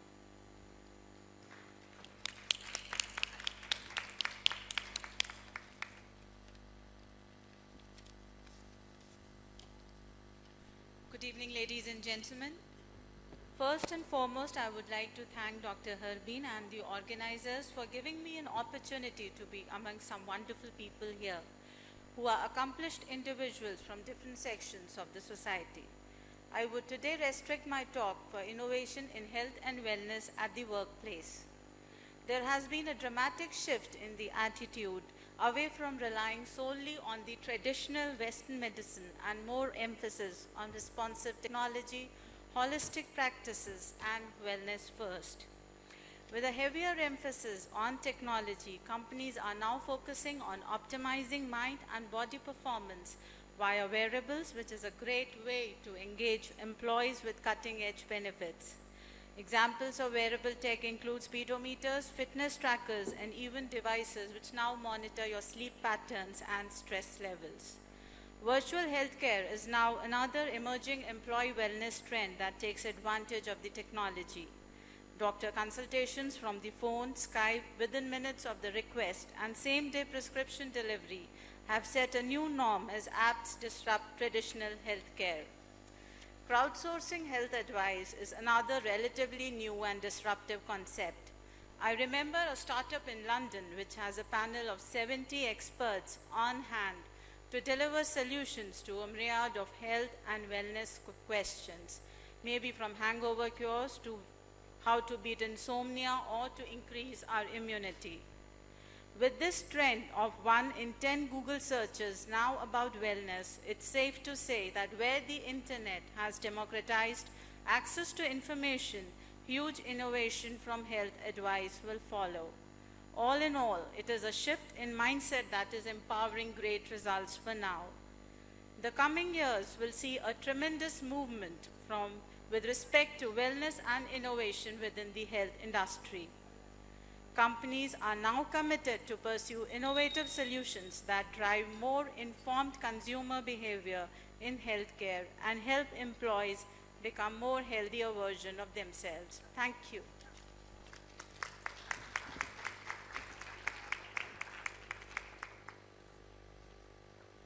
Thank you, Ms. Agarwal. Uh, next speaker is Ula Collins. She's the founder of Avanti Pilates.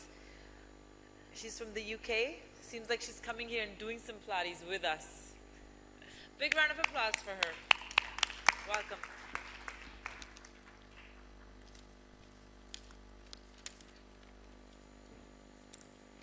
First of all, I would like to thank you all for your kind, loving, and supporting, very supportive energy and attention.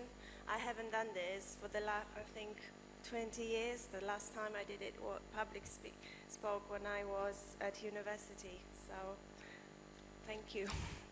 Um, in the short time I've got, I just wanted to share with you my journey from local to global my journey as a mother, as a business owner, um, as a friend, and as a foreigner. I started my business when I moved to England, but I'm actually Polish. So my daughter was two years old, and I built a very successful and fulfilling business, which is based on authenticity and my intuition. I made it happen, believing in myself, not following anybody's example, but trying to find something which would be unique and special and real. And by doing this, I managed to create something which is catching. People want to come to my classes, they want to belong, because I create a space for them to connect with themselves, with their bodies, and with each other. Finding a space to stop and think and feel and feel connected. I'm here because one of my students noticed me and she invited me here. I was working on a local level as a teacher, doing my job as well as I can, but I wasn't expecting to be here, and here I am because my work comes from my heart. I love what I do, and I do what I love. I'm really happy with what I do. I'm really happy I found it. I found put, combined my passions, my interests, my talents together, things which are important to me in my life. I combine my personal and personal and professional life with unity. So it all complements one complements the other and I'm really happy and fulfilled, successful businesswoman. Thank you very much and maybe you can join me during my talk about loving what you do and doing what you love on Thursday. Thank you. And thank you, lovely Ula. Our last speaker for the evening for this session, I call upon Urmila Chanam from Breaking the Silence, Bangalore, India. Welcome, Urmila.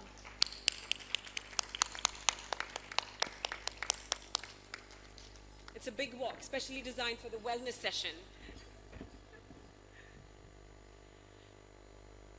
opinion and perspectives of individuals and society at large is impacting the health, accessibility, and availability of facilities and services, education, livelihood, aspirations, and self esteem of 355 million menstruating girls and women in India. According to a survey done by AC Nielsen, commissioned by the Government of India in 2011, only 12% of India's girls and women use sanitary pads, suggesting 88% use unhygienic materials and products like ash, hay, cotton, even polythene. 23% of India's girls are dropping out of school when they hit puberty because of lack of supportive infrastructure like a toilet specially for girls or even a dustbin. And even lack of empathetic environment because teachers are not sensitive to what is going on in the bodies of girls in the campus. 72,000 women die because of cervical cancer, one of the reasons being poor menstrual hygiene in India, killing more women in India than anywhere else in the world. How have we allowed for things to escalate to such a degree? And here we are fighting between two schools of thought which believes that the sanitary pad is good and the other believes that the cotton cloth recyclable reusable cloth is better because it is environment friendly. Another school of thought says silicone cup is the solution for the 21st century women. Incineration is under fire by environmentalists who say that XYZ percentage of carcinogenous substances are emitted when you burn sanitary pads and sanitary products at low temperature. Today we are fighting for tax-free sanitary materials in India. I just saw that mail on change.org. But aren't these problems outside of us? What are we doing for our thoughts that believe that menstrual blood is impure and allows every mother to push her daughter away from family life, making her eat in utensils separate, sleep separate, be pushed away from everybody. What are we doing about that? Stigma is the biggest barrier in attainment of menstrual hygiene. Unless we tackle stigma, nothing great is going to happen. If only a mother can tell her daughter, menstruation is a natural, life giving phenomenon, and nobody has a right to subjugate you and isolate you because you bleed. I think the problem will end there, and we will not have to think about the problems which are outside of us. I want a world free of stigma. I want an enabling environment for girls and women in India and globally, and they will do things on their own. Thank you. Powerful closing note. Thank you, Urmila, for that. Thank you. I'd like to seamlessly take that into the award ceremony. We have Dr. Harbeen Arora on stage with us to present the award to this all ladies panel. I'd like to acknowledge Bilbir Want as the iconic leader creating a better world for all.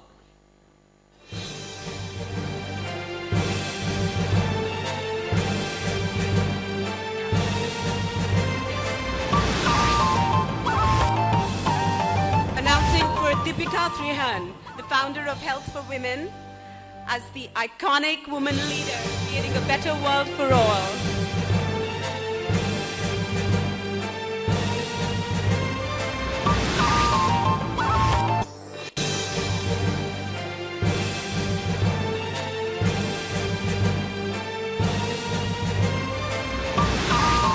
Dr. Nazneen Akhter, please step and accept your honor.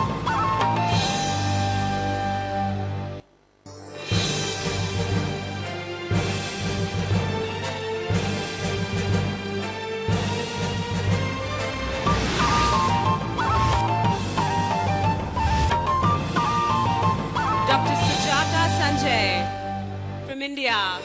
Congratulations.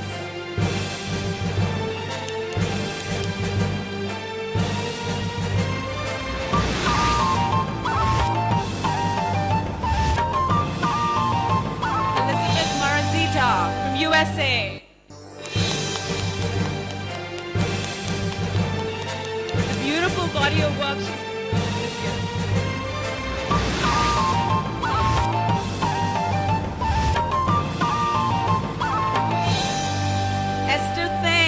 as the iconic woman creating a better world for all. Congratulations.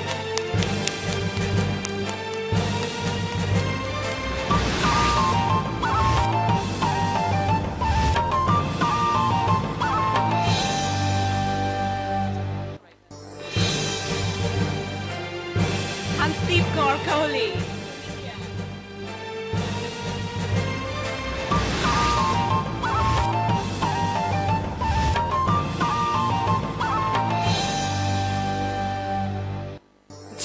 Quintard. From Australia, congratulations to you as well.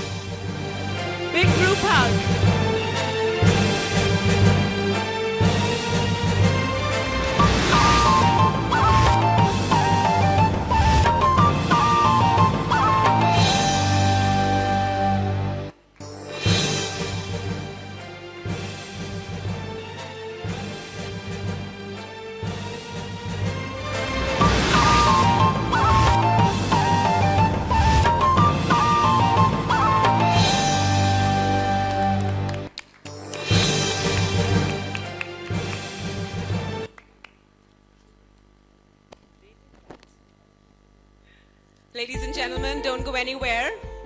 We're rolling into the next session, a very exciting discussion ahead with a very illustrious panel. We're in conversation with the leaders of the decadent media. And it's my honor to call on stage Mr. Amit Goel. Amit, would you please join us on stage?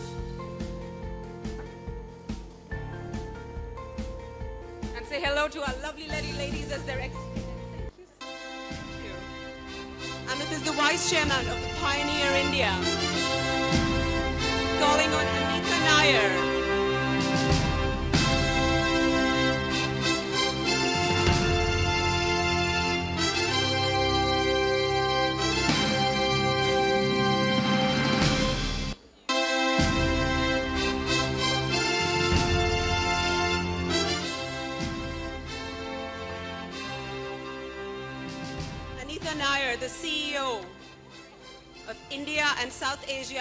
Media.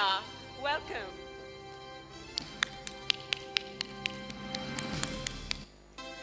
My privilege to call on stage Barkha Dutt.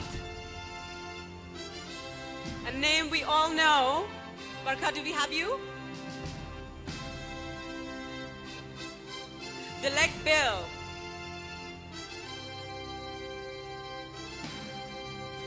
Dragana Vujovic. Erika Mikaelsson.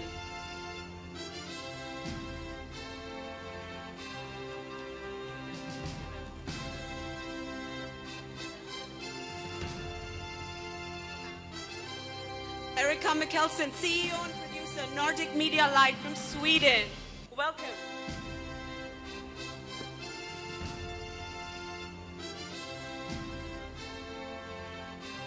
Welcoming Dragana, president, B Premium Group Social Media from Serbia. My privilege to, um, to welcome on stage once again Dilek Bill, founder of Purple Sustainable Ideas from Turkey.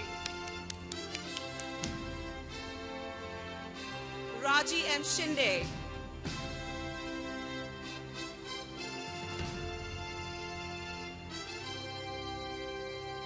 Parul Sharma.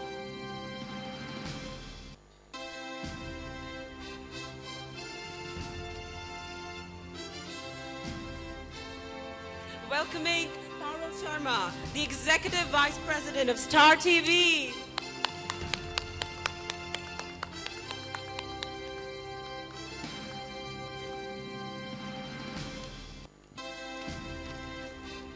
S.M. Khan.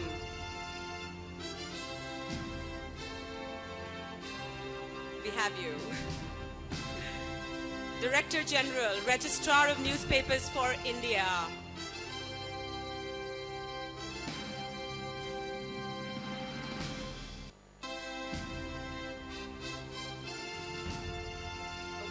Warm welcome, sir.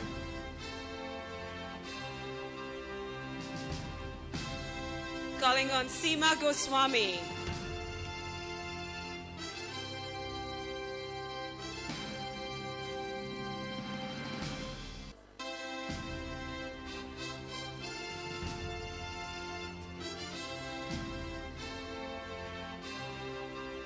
Welcoming on stage Seema Goswami, journalist, author, columnist from India. An absolute honor. Also acknowledging the presence of Veer Sanghvi in the audience, a true supporter. Privilege to welcome on stage Venky Venkatesh. Welcome, sir. Ladies and gentlemen, let's bring a little bit of warmth in here. The CEO of the Press Trust of India, India.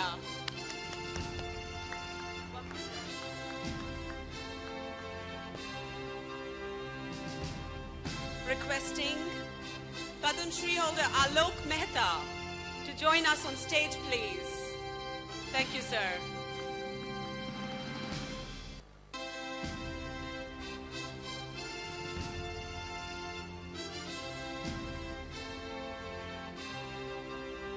Padam Shri Alok Mehta, former President, Editors Guild of India. Warm welcome to you this evening.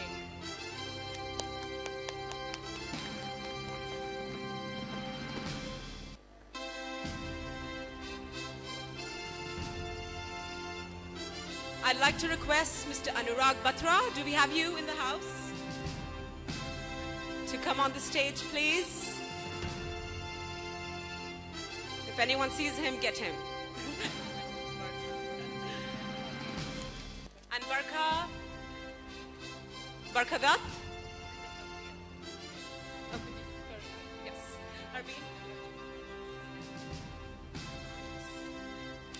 Ra- Rajiee, are you Ra- Rajiee Shinde is here? Uh, Well, it's an absolute honor and privilege to have with us some of the leading lights of media from India and from the rest of the world as well in my search for women and leaders across the world who are making a difference in their own unique way. It's been a very passionate journey in the past one year discovering soul sisters and soul brothers in different parts of the world. And I'm so glad to have with us um, some of the people who've been really great friends over the past years. And in this, the first name that comes to my mind and my heart is none other than Amit Goel, a vice chairman of the Pioneer. Uh, the Pioneer story is a very unique one. It is the oldest English language daily in India. It's very historic and it's uh, got a passionate team of supporters who refuse to see it go. And Amit is one of those evangelists who has been part of the core team ensuring that Pioneer not just survives but succeeds. It is my absolute pleasure and deep delight to welcome here my dear friend Amit Goel.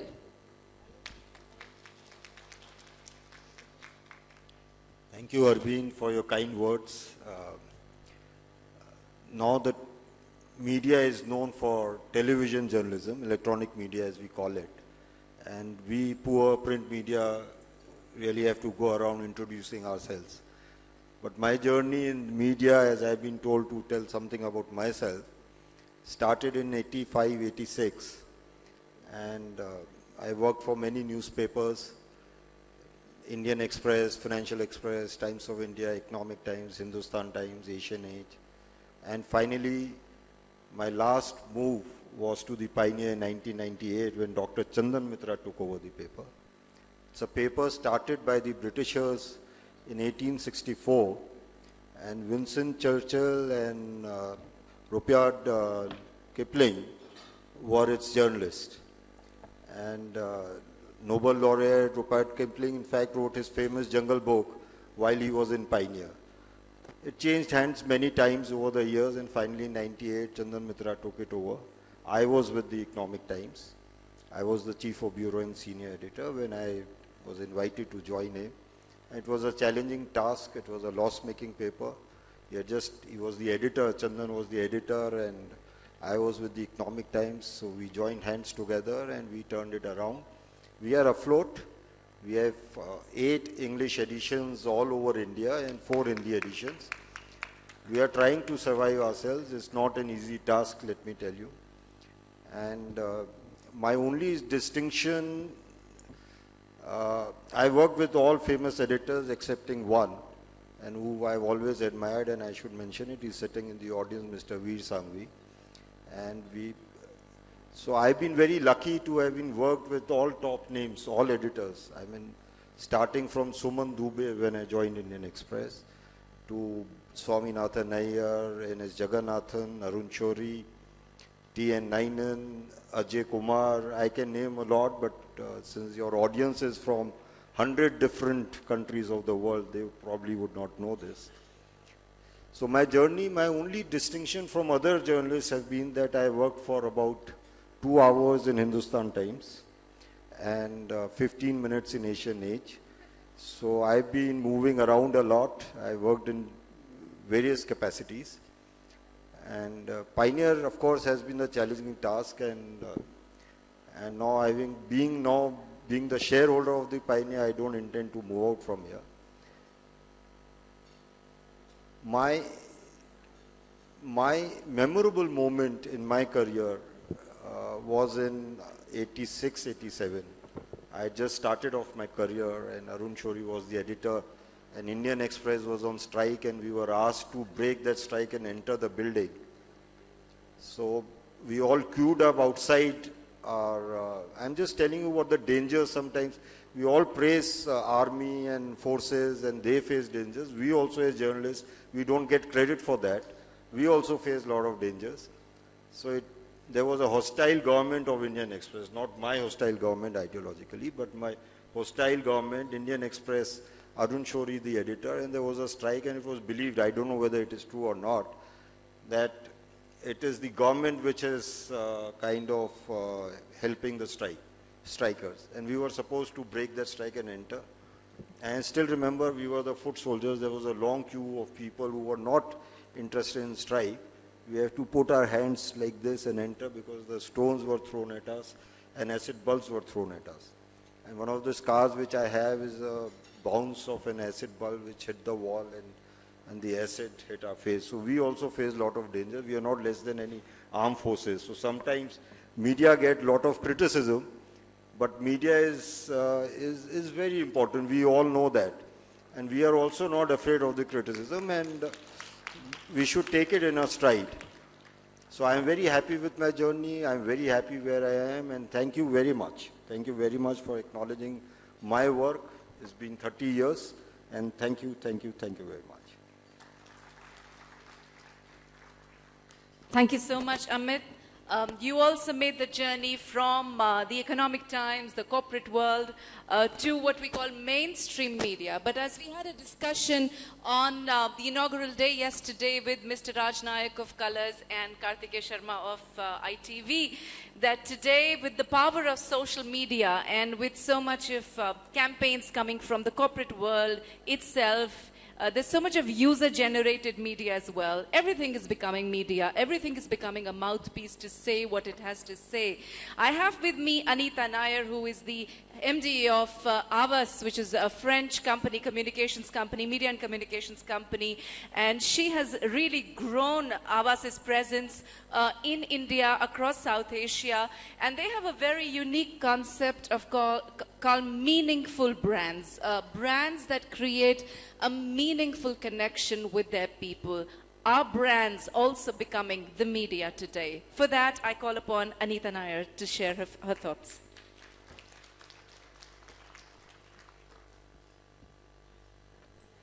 Good evening, everybody. Um, thank you so much, uh, Harbeen.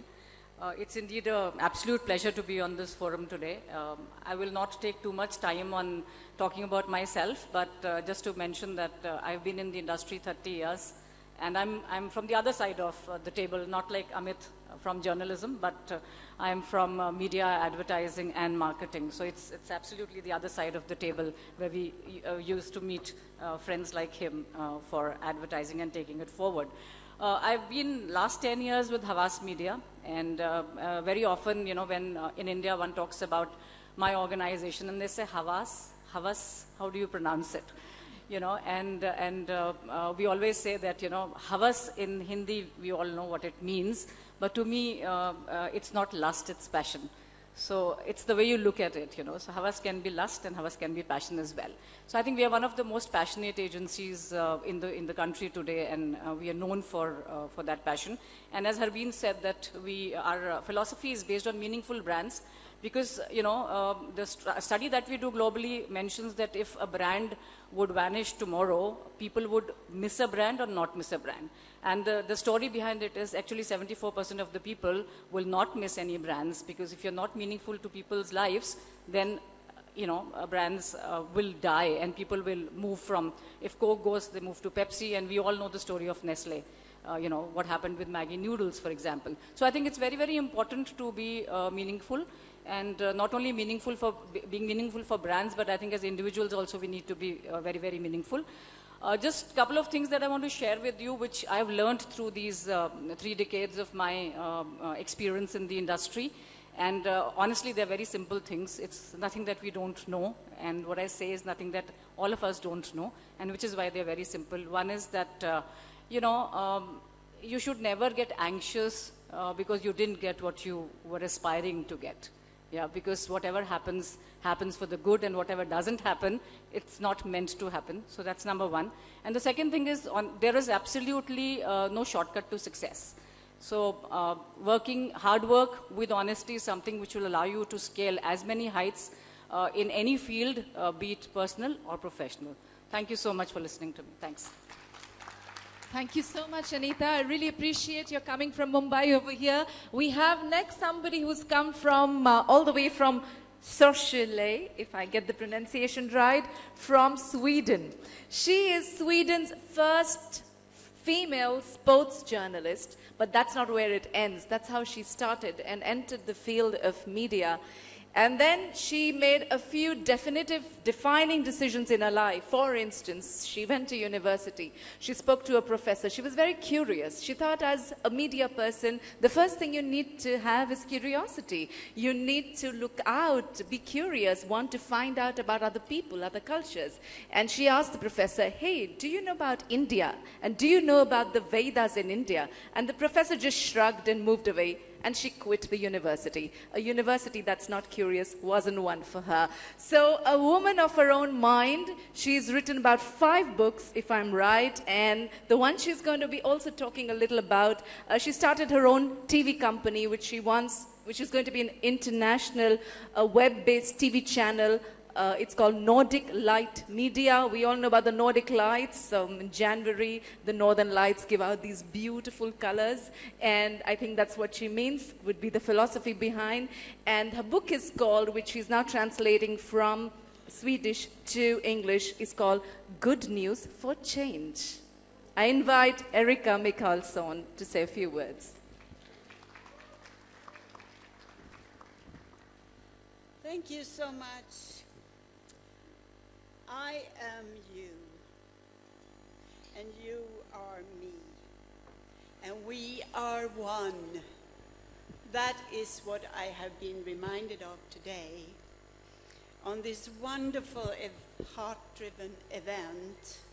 And I'm deeply grateful to my beloved and dear soul sister, Dr. Harbeen Arora for inviting me here and for doing this wonderful event together with her life partner, Mr. Rai, who is a real man, because only real men support women.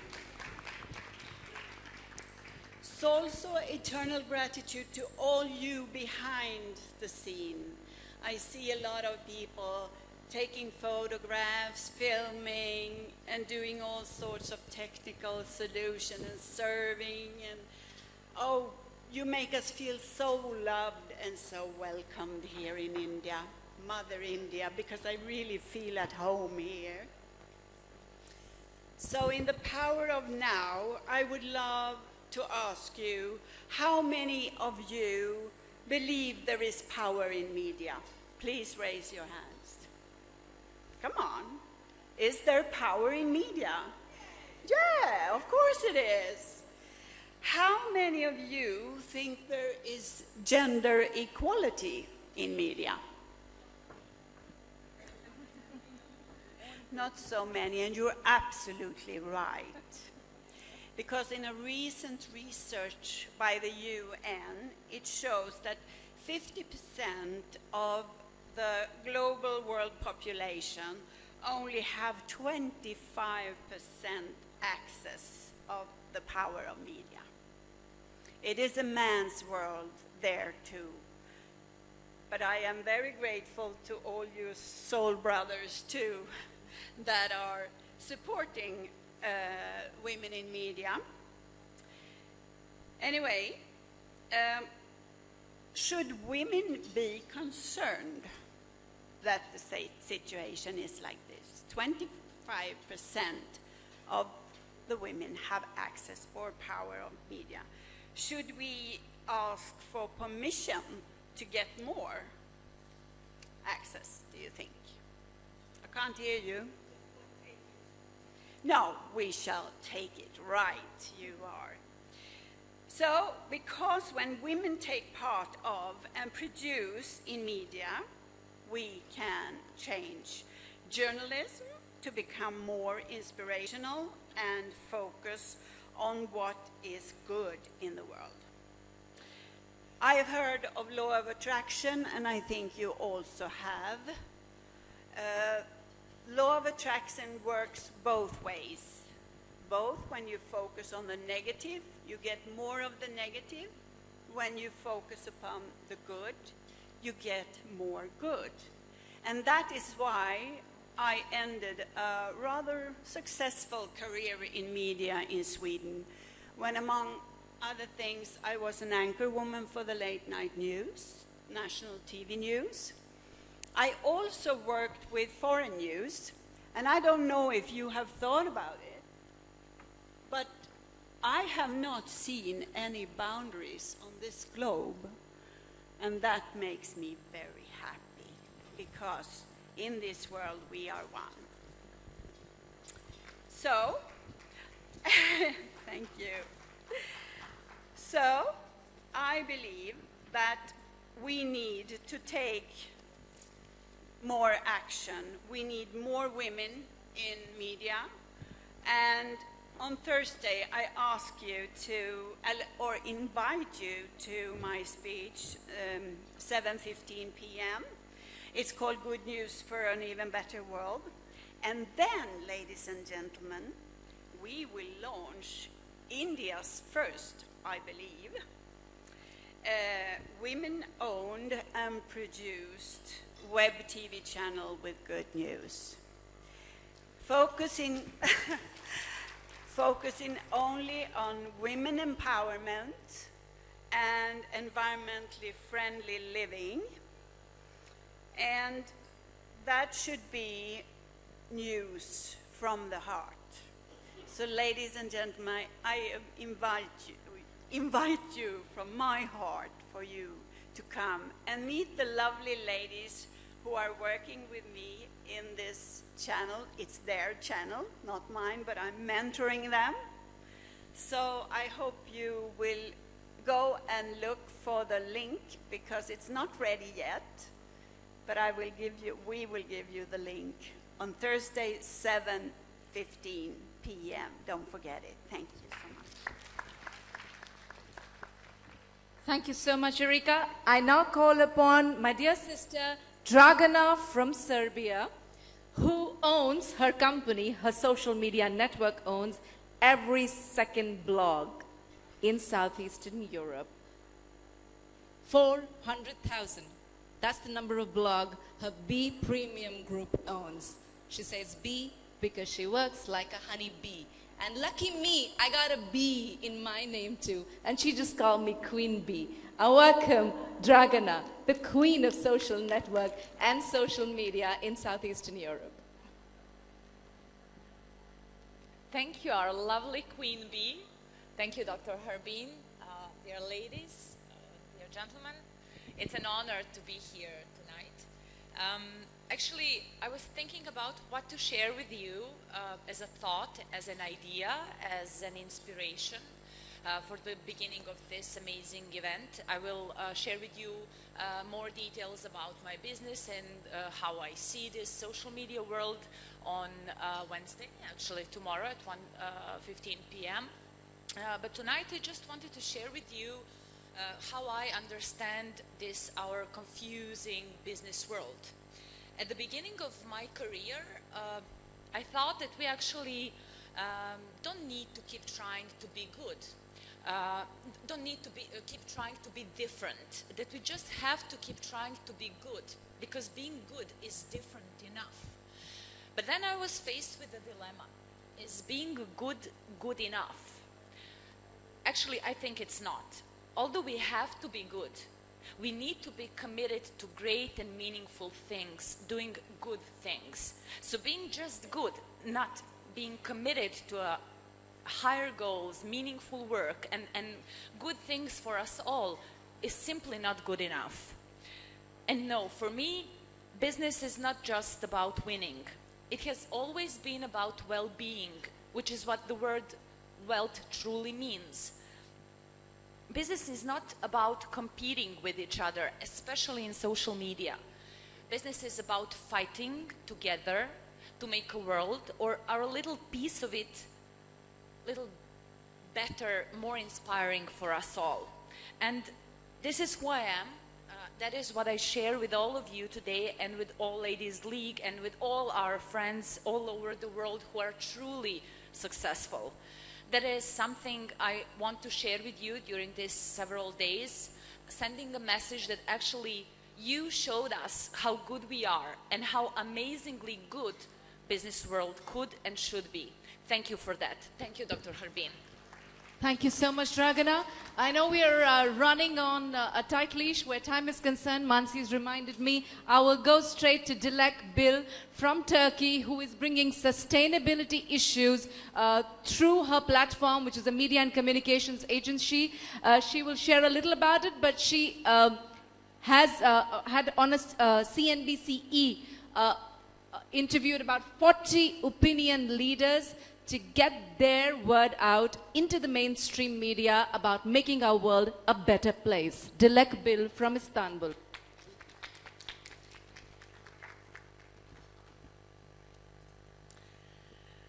Thank you, everyone. I'm honored to be here. Thank you, Dr. Harbeen, once again, having given me the opportunity to be with you tonight. Yes, like Dr. Harbeen told you, that I have created a TV show and I decided to go into sustainable development area. It was a very a virgin area that no one really knew much about it in the country.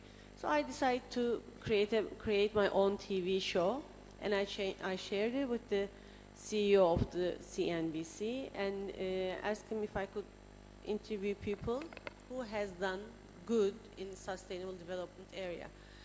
And he said, perfectly all right, go find your sponsors and uh, create your own TV show.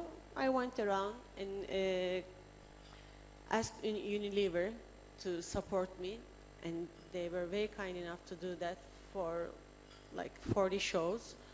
And uh, I interviewed 40 plus CEOs, opinion leaders, and NGO leaders, and talked about how sustainable development can change the world our country and business. And it did make a difference. When I first started, I was not even able to find people to interview. It was very difficult to convince them because they didn't have much to say. But towards the end, everybody was happy. Everybody was ha uh, happily talking about it. And uh, CNBC closed down in Turkey. Now we're going to move the show to another TV channel. But now I'm going. I'm writing my own book on the uh, TV show and interviewing the same people after two years where they are now, how they are looking at their life from the sustainability point of view. So we know media is the power, it was said before, and, uh, but one growing love we have is the social media. It's not changing the way we communicate, it's changing the way we do business, the way we are governed, the way we are living in our societies all around the world, media, social media is going from, an, from nice to have to a must to have. It's shaking up the healthcare and public health. Social media, media platforms may be the banks of the future. It's going to change a lot of people's lives who are in poverty, who are not able to reach uh, the sources of uh, finance, but they will be able to do it through social media, through digitalization. Social media is changing how we are governed, and we have lived through that. They made a difference. They changed governments, they changed systems, they changed political views. Social media is helping us tackle with a lot of, of the world's biggest issues. Challenges, human rights, violence, and they're doing good too. Before I finalize my words, I would like to share with you an anecdote that recently happened in, uh, I don't know if you have come across with that, but uh, a young boy, Jeremy Jarre, he has come across with a heartbreaking video of a five-year-old Somalian girl who had walked 150 kilometers to find water for her mother. But on the way, she couldn't make it. When he had seen this little YouTube film, he was so much touched and he immediately tweeted and he said, hashtag Turkish Airlines helps Somalia. The reason he said Turkish Airlines was because Turkish Airlines was the only direct flight that he could find to Mogadishu. And he- the minute he created that social media campaign and started collecting money, everybody thought he was not very serious. But in less than 24 hours, he collected 1 million plus US dollars, and people sent that money to a bank account that they didn't even know much about. But people were touched with this news, and they sent the money, and the Turkish Airlines provided the airplane and the goods, food, and healthcare items were sent to so- Somalia and saved so many people's lives. So media is powerful and social media is changing in our lives. Thank you. Thank you so much, Tilak. I will now move on to the leading lady at Star TV, who was the head of communications for 14 years, now the spokesperson of Star TV, a very dear friend, Parul.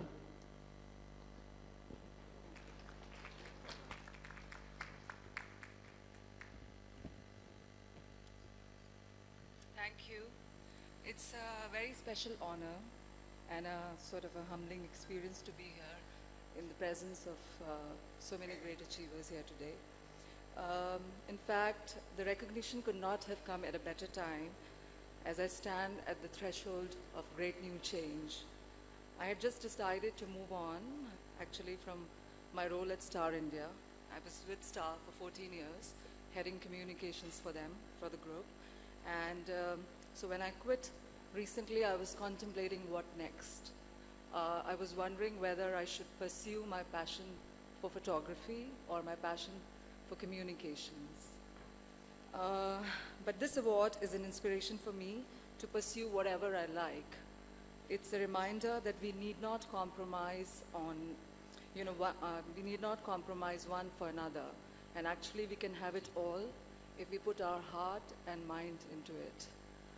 I see this award at uh, Women, Women Economic Forum as just not something that recognizes my past contributions, but also as, um, as something that has helped me decide about my future as well. So thank you, Women Economic Forum. It's a pleasure to be here with you t- this evening. Thank you. Thank you so much, Parul. I will now invite Mr. S.M. Khan, who is the Director General of the Registrar of Newspapers of India. And he's had an illustrious career in the media spanning uh, time spent at uh, Doordarshan, which is, uh, has the largest infrastructure of content distribution in India, about 70% uh, over here.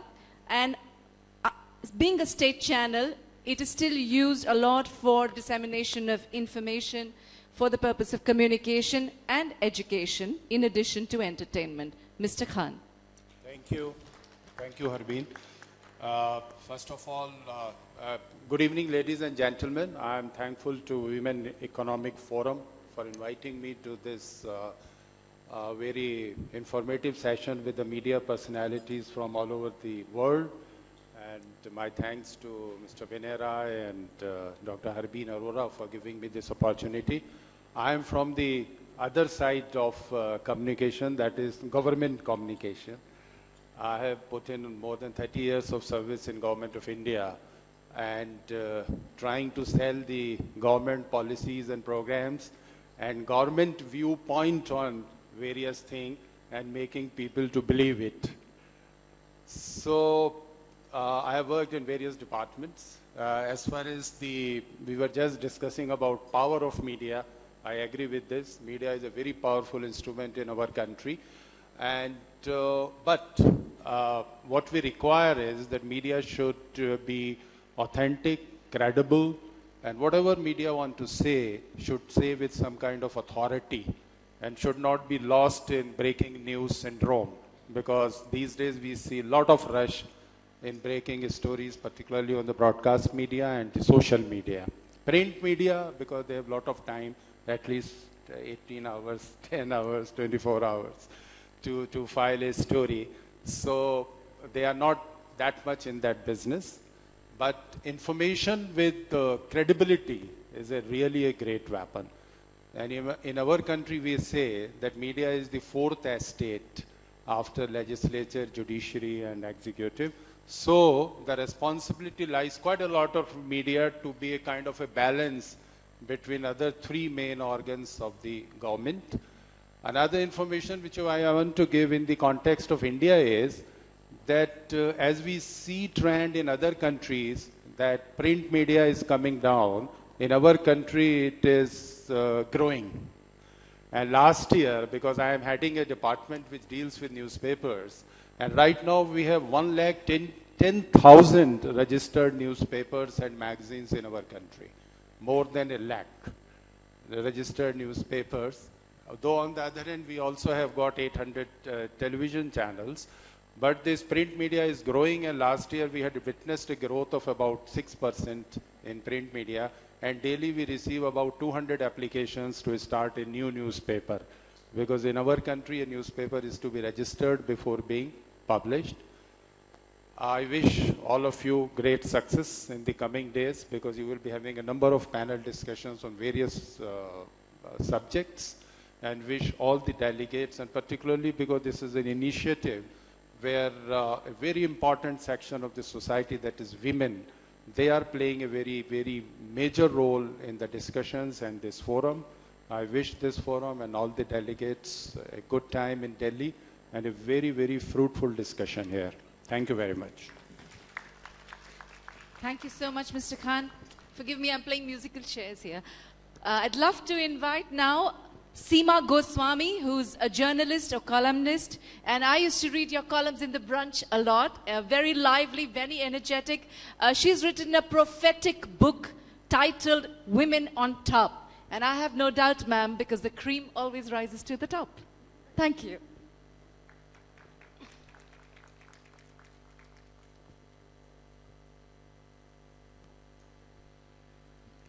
Hi, good evening to you all. Uh, I've been told that I should share some details of my journey in journalism and how I started out and how I went on. But frankly, that sounds tedious beyond belief. And I wouldn't inflict it on all of you after a long day at this session.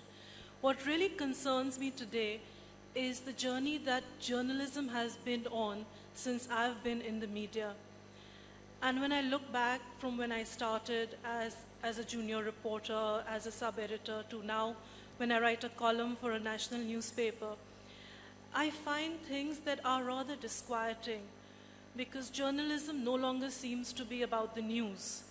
It's more about opinion, it's more about holding forth, it's more about exhibiting your prejudices and things that you feel rather than things that are fact. And there is place for that in journalism. As a columnist, I wouldn't have a job if there wasn't a place for that in journalism. But journalism has to be about the news.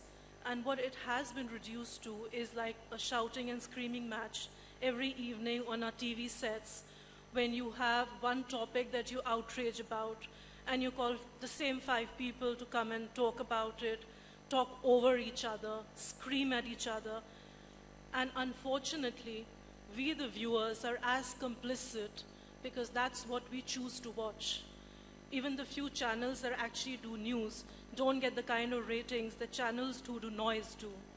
And that is what is really disquieting to me as a journalist. In fact, given how things are, I hesitate to actually introduce myself as a journalist now because the word has become so debased uh, because of what we've turned the news into. So that's the journey that I would like to reflect on.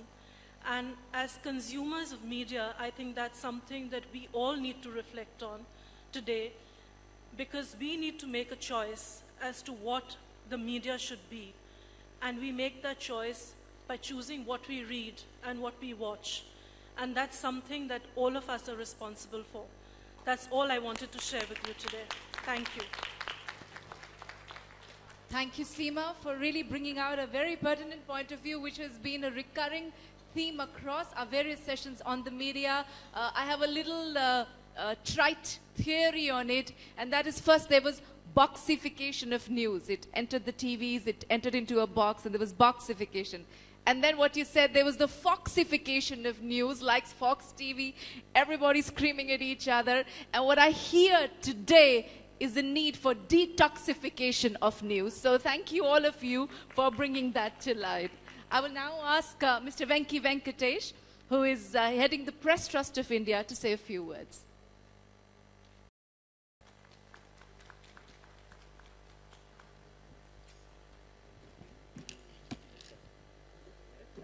Good evening, uh, ladies and gentlemen. Uh, it's a great ho- honor to be here amongst uh, people like you today. And my compliments to Women Economic Forum for creating this stage where there is a lot of exchange of thoughts, creativity, and knowledge. And I was also told that I need to speak about uh, my career. So I'm going to do a bit of a twist. And I'm going to talk about the journey, and I'm also going to talk about the pillar of my strength in this journey. In our career, in my career, as I kept on moving, we moved 14 homes and we lived in six cities. Now just imagine shifting from one home to another home, pack, unpack, settle down. And imagine doing it in 14 different homes. And that's where my pillar of strength, my wife, Asha, who is here, uh, partnered me in this journey. And my children also had to move from a city to city. And it meant CBSC to ICSC to ICSC to CBSC. This kind of change needs a lot of uh, strength and helping hand, and she was there for us. So, uh, all this happened through the three decades of my, my career uh, in Hindustan Unilever, Hindustan Times, and now in PTI. You see, in all of this, uh, the reason why I've taken this example is a homemaker is always an unsung hero, and in this case, should I say unsung heroine. And, and, and to be a good homemaker, it requires a lot of management skills, I, I can promise you that. It requires creativity, it requires care, it requires empathy, it requires leadership. Imagine the kind of management pressures that the husbands will put on the wife, and those pressures are very different, and the wife has to, has to handle this. And think of the IR problems the children will create. So it's one thing to handle an IR problem in a job situation, it's a different thing to handle an IR problem at home. So hats off to all those homemakers who have made careers of lot many people. Uh, it is not a cliched statement when you say that behind a successful man, there is always a very strong lady. And I think it is true, and I'm absolutely sure in my case it is true. Thank you very much, uh, Dr. Harbeen, for considering me for this award, and best wishes for such good work in the future. Thank you. Thank you so much, Mr. Venkatesh. I have two last speakers on this panel, and since we always say ladies first, I'm not going to have the lady last. So I'm going to now ask uh, the wonderful Rajiee, who is the director and CEO of PTC Network, who spent many years in the Punjabi television industry and is the only woman in the top rungs in the Punjabi TV industry. Rajiee, please.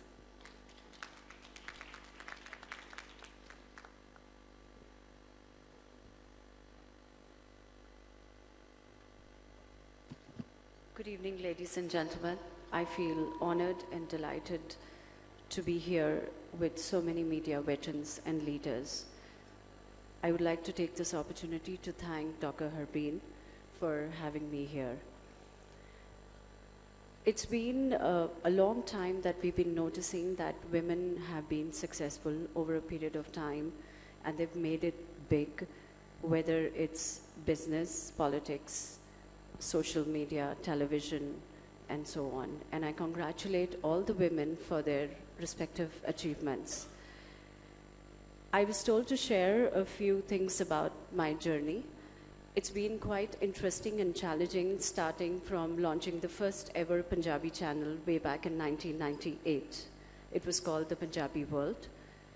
I moved on to ETC Punjabi, launching that in June 2000. And then Zee took over, and I was very fortunate to run two competitive channels, ETC Punjabi and Zee Punjabi.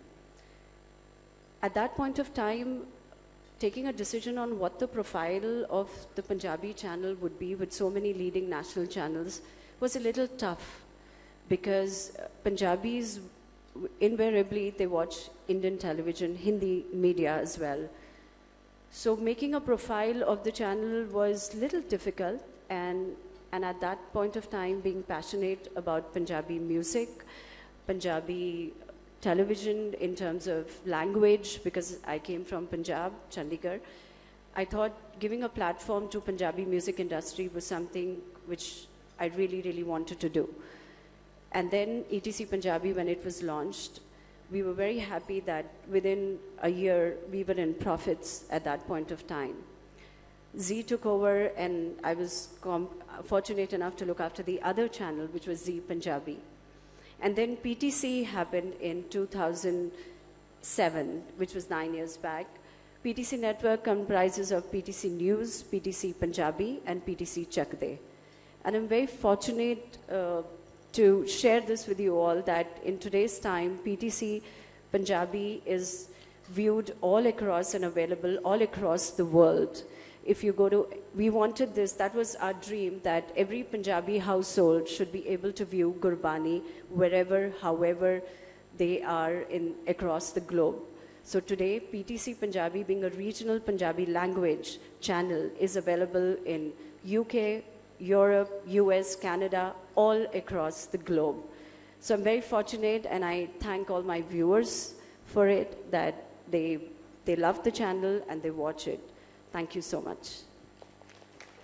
Thank you so much, Rajiee. I must tell you that uh, PTC is the first channel that is switched on in my house at 3:30 a.m. in the morning because you cover, uh, you know, Harmandir Sahib. I'm born into a Sikh family, so those are the voices I hear early in the morning in in in in Brahma Muhurat. So.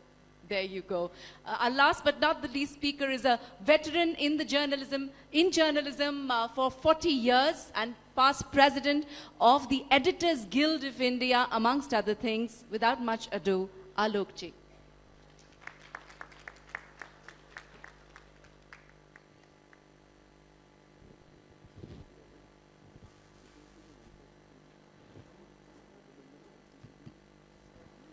Thank you very much, uh, Dr. Arora and Rai family, I should say. And especially I want to give my greetings to Women Economic Forum. In fact, I'm not supposed to come here. Uh, my friend here sitting, Mansi, uh, she's from TV, she's from digital media. So after 40 years also, I think I'm a still trainee. I want to learn a lot for digital media. Because in India, we are going through in a different era of journalism. When we started, it was teleprinter, it was typewriter, handwritten. Still, person like me still prefer to write by my pen instead of on computer. But even then, we have to work also on computer. We have to go also on the television. Mr. Amit Goel, our friend, was sitting here.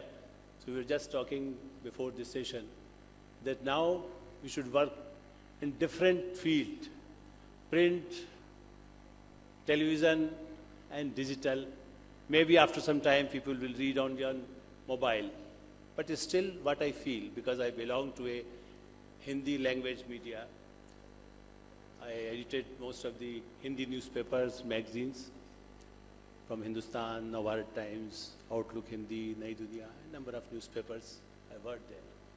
So I feel that it's still what our friend was talking about here, that in India we have a large number of Hindi readers, the Indian language readers also there. So television, what we think that only dominated by this discussion where we go there for discussions and just blah, blah, blah, politicians speaking there. But the real India is out of Delhi, Mumbai and Calcutta. Even Women uh, Economic Forum also, they organize some conferences out Delhi also. So I think even the rural area is still 60%. Mr. Khan was also talking more than one lakh publications in, in India. So you can imagine that large number of people who live in rural area, we need more education, more health awareness, what Baba Ramdev was talking here. So I think our friend like Mansi, who is running teen news for young generation, she worked for television producing but she's behind the curtain like producer and director, and especially the economic power. They work behind the scene. You see now Anurag Batra is also just sitting outside here somewhere. He was called to come here on the dais, but instead of coming here, he was talking behind the scene. So number of people working behind the scene, and we all work for those people who are working in field, in rural area, in cities, and especially for women. What I feel for media, we have a great responsibility all over the world, not only in India, in Africa and Europe. I know I worked in Germany also in Deutsche Welle for three years, and I feel that still all over the world we need more woman power in the media also. In, in, uh, we have seen Barkha Dutt, now she is not here, but still there are people, Shobhana Bhartia in Hindustan Times, Mrinal Pandey was also editor. So you don't feel that uh, nowadays number of people coming from uh, in the media, in business also. So I think our guests from outside the India, they should also feel that in India there are a lot of prospects. When Star TV started here in India, Siddharth Ray was the first CEO. He was also from Times of India group when we were working together. So now you see how Star is popular or how is strong, strong in India. So maybe in future, you ladies who came from outside India, the day will come, you will also come here as an entrepreneur. We have a scope for Indian media. You should invest in digital media. You should invest in television for education, for health. This, the prospects for women in India is large, and we, I think we should work together. And this kind of forum ultimately is going to help society make digital India, make a strong India, make more friendship all over the world. We need more friendship, peace, and prosperity. Thank you very much. Thank you so much, Alokji. With that, we come to the close of this session. It is said that Journalism is a way in which a society has a conversation with itself. I would like to thank each and every one on this panel for helping us all have a conversation with ourselves and a conversation with the media. Thank you very much. We will now do the award ceremony. I request Mansi to please lead it. Thank you so much, Harbeen, and thank you so much. Our awardees eh, for the evening. It's my pleasure to announce our very first awardee, Mr. Amit Goel, as we honor him with the Leader of the Decade in Media and Social Change. Ladies and gentlemen, please give him a warm round of applause.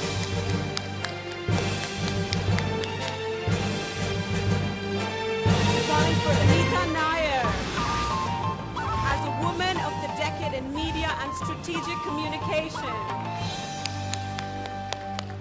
Let's keep clapping here now.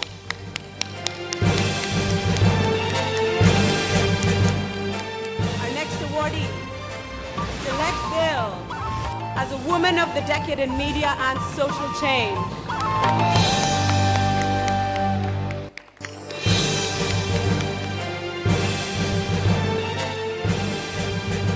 We'd like to honor Dragana as a Woman of the Decade in Social Media and Leadership.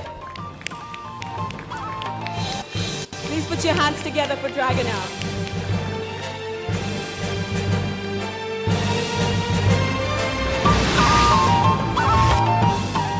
like to honor Erika Mikaelsson as a Woman of the Decade in Media and Social Change.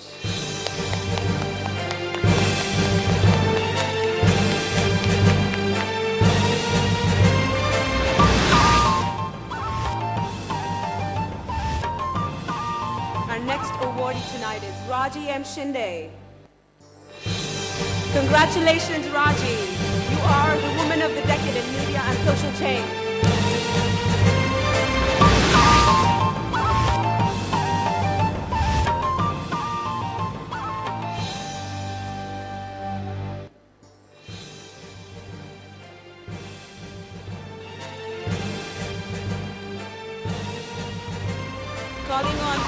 Sharma. Congratulations, ma'am. As a woman of the decade in social media,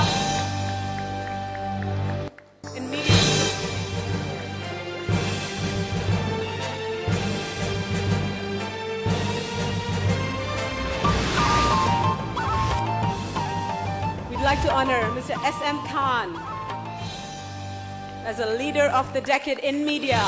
Ladies and gentlemen, let's give Mr. Khan a warm round of applause.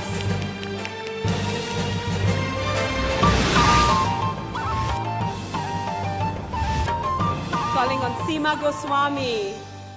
Congratulations, Seema. You are the woman of the decade in media and social change.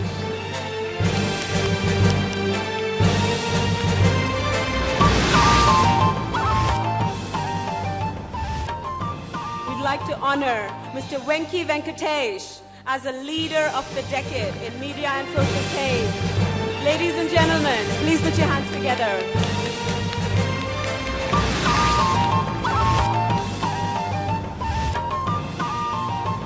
Last awardee for the evening is Padma Shri, Mr. Alok Mehta.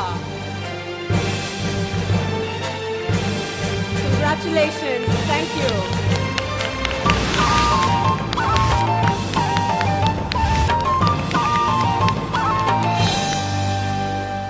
Ladies and gentlemen, would you please step up for a group photo of this epic moment?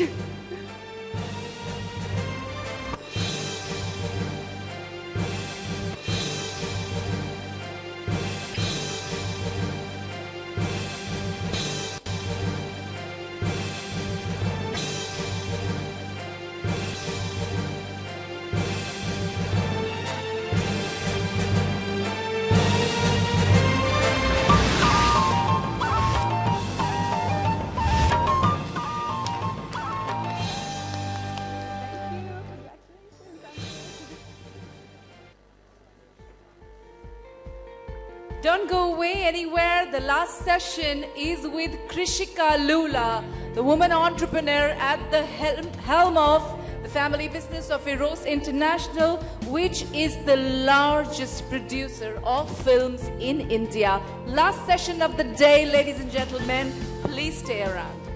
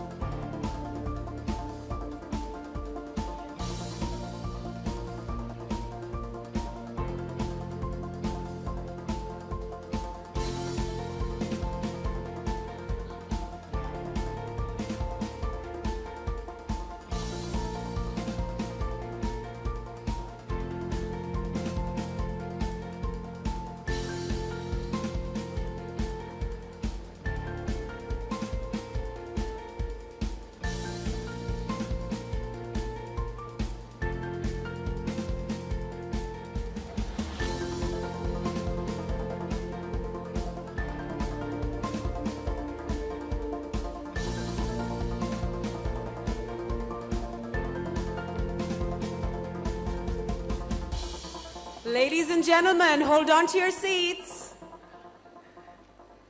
We have with us Miss Krishika Lulla, the glamorous, illustrious Indian film producer.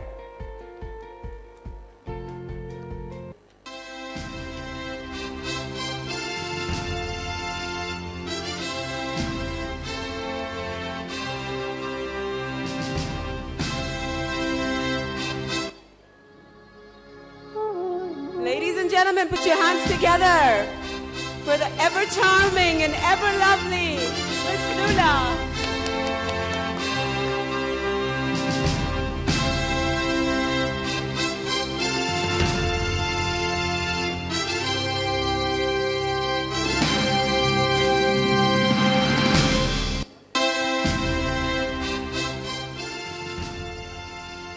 Well, yesterday we had a session with an actor from the Hindi film industry, lovingly called as Bollywood with some like and some don't. Doesn't matter, it's here to stay. Uh, Krishika, you are a woman film producer. Your family's been into the business for a very long time. You are Eros International, the largest producer of films in India. How does it feel to be a woman at the helm of the largest production company in India? A very good evening to everyone present here. I feel with willpower and determination, you can succeed anywhere, whatever you want to.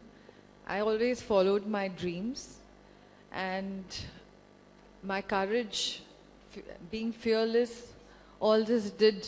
Um, I realized when I had to face, and I'm here because of that. Uh, and I would say I would give all my credit to my team, whoever is working with Eros International, who has been like a like thick and thin with me, and supported me all the way. I was thinking maybe we should switch mics. My match is with red and your match is with green. Would, that, would you like that? Okay. Why not? Thank you. So, we already talk about the Indian film industry as the largest, right?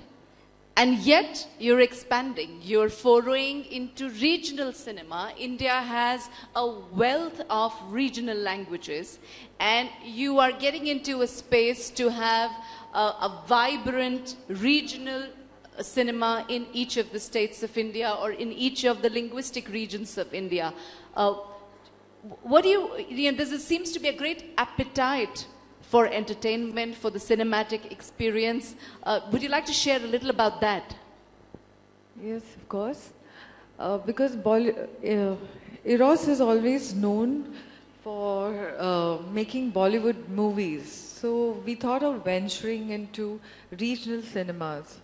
So we did two Marathi films. We backed two film, Marathi films called Funtru, which was a sci-fi uh, romantic love story. It's very different and never ever uh, uh, touched, even in Bollywood, such kind of subject. And we did uh, Anzara Hatke, which is also a beautiful story which touches a human relationship. So it was a good experience to try uh, to venture into Marathi cinema too. We've uh, following up with uh, maybe Kannada, Bengali. We are just uh, releasing called Posto. So it's it's a good experience because each religion at each uh, little country gives you a different feel, which makes you more aware of what is going on in you know all each state.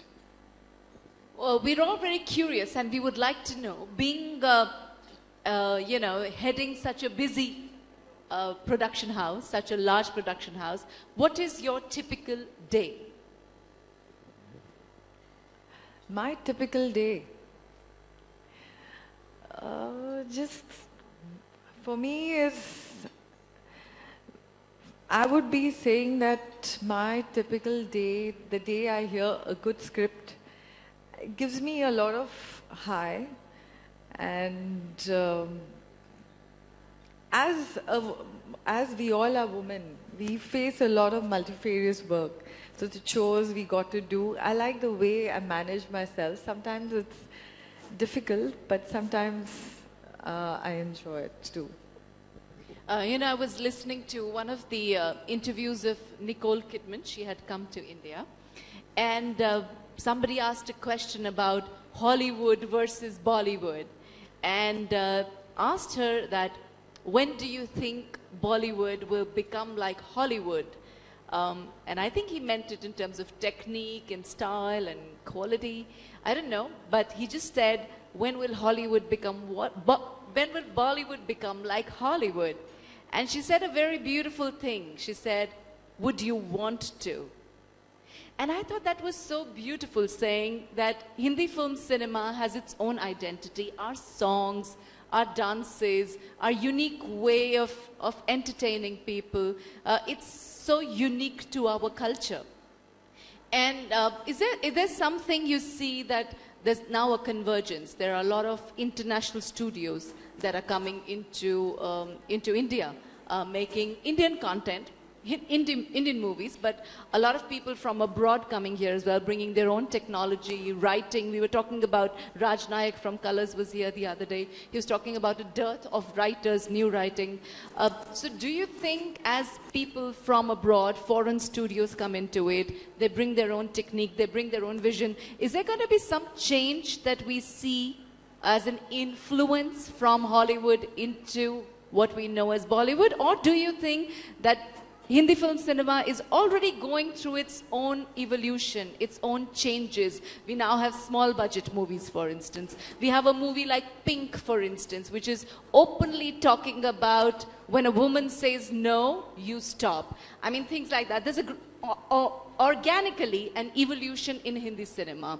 So where do you see this going? Do you see us influencing Hollywood or Hollywood influencing us or a mix of both? Uh, I would truly say Hollywood is influenced by Bollywood. I say because uh, one small example, we are doing very well. Bahubali is done, is going to do more than 1,000 crores. So that shows it all that we are there. Of course, there are a lot of subjects. If you see Japanese film, if you see different Korean film, they all have Bollywood touch the emotions, because emotions are the same, whether it's Hollywood or Bollywood. I think uh, there's no comparison. They think differently, and if we think that kind of way, I don't think so. Uh, uh, Bollywood would accept such kind of films. I mean, the Indian uh, audience, I meant. So I feel we have our own stake and where we are, and we show the innocent, we show emotions, we showed the grounded version, what we all are from beneath. So my take is uh, obviously Bollywood, Hollywood is following Bollywood. Um, do you think the film industry is um, a male dominated or a male determined industry? Or you think it women are coming and playing their parts, such as yourself? You're very much part of decision making.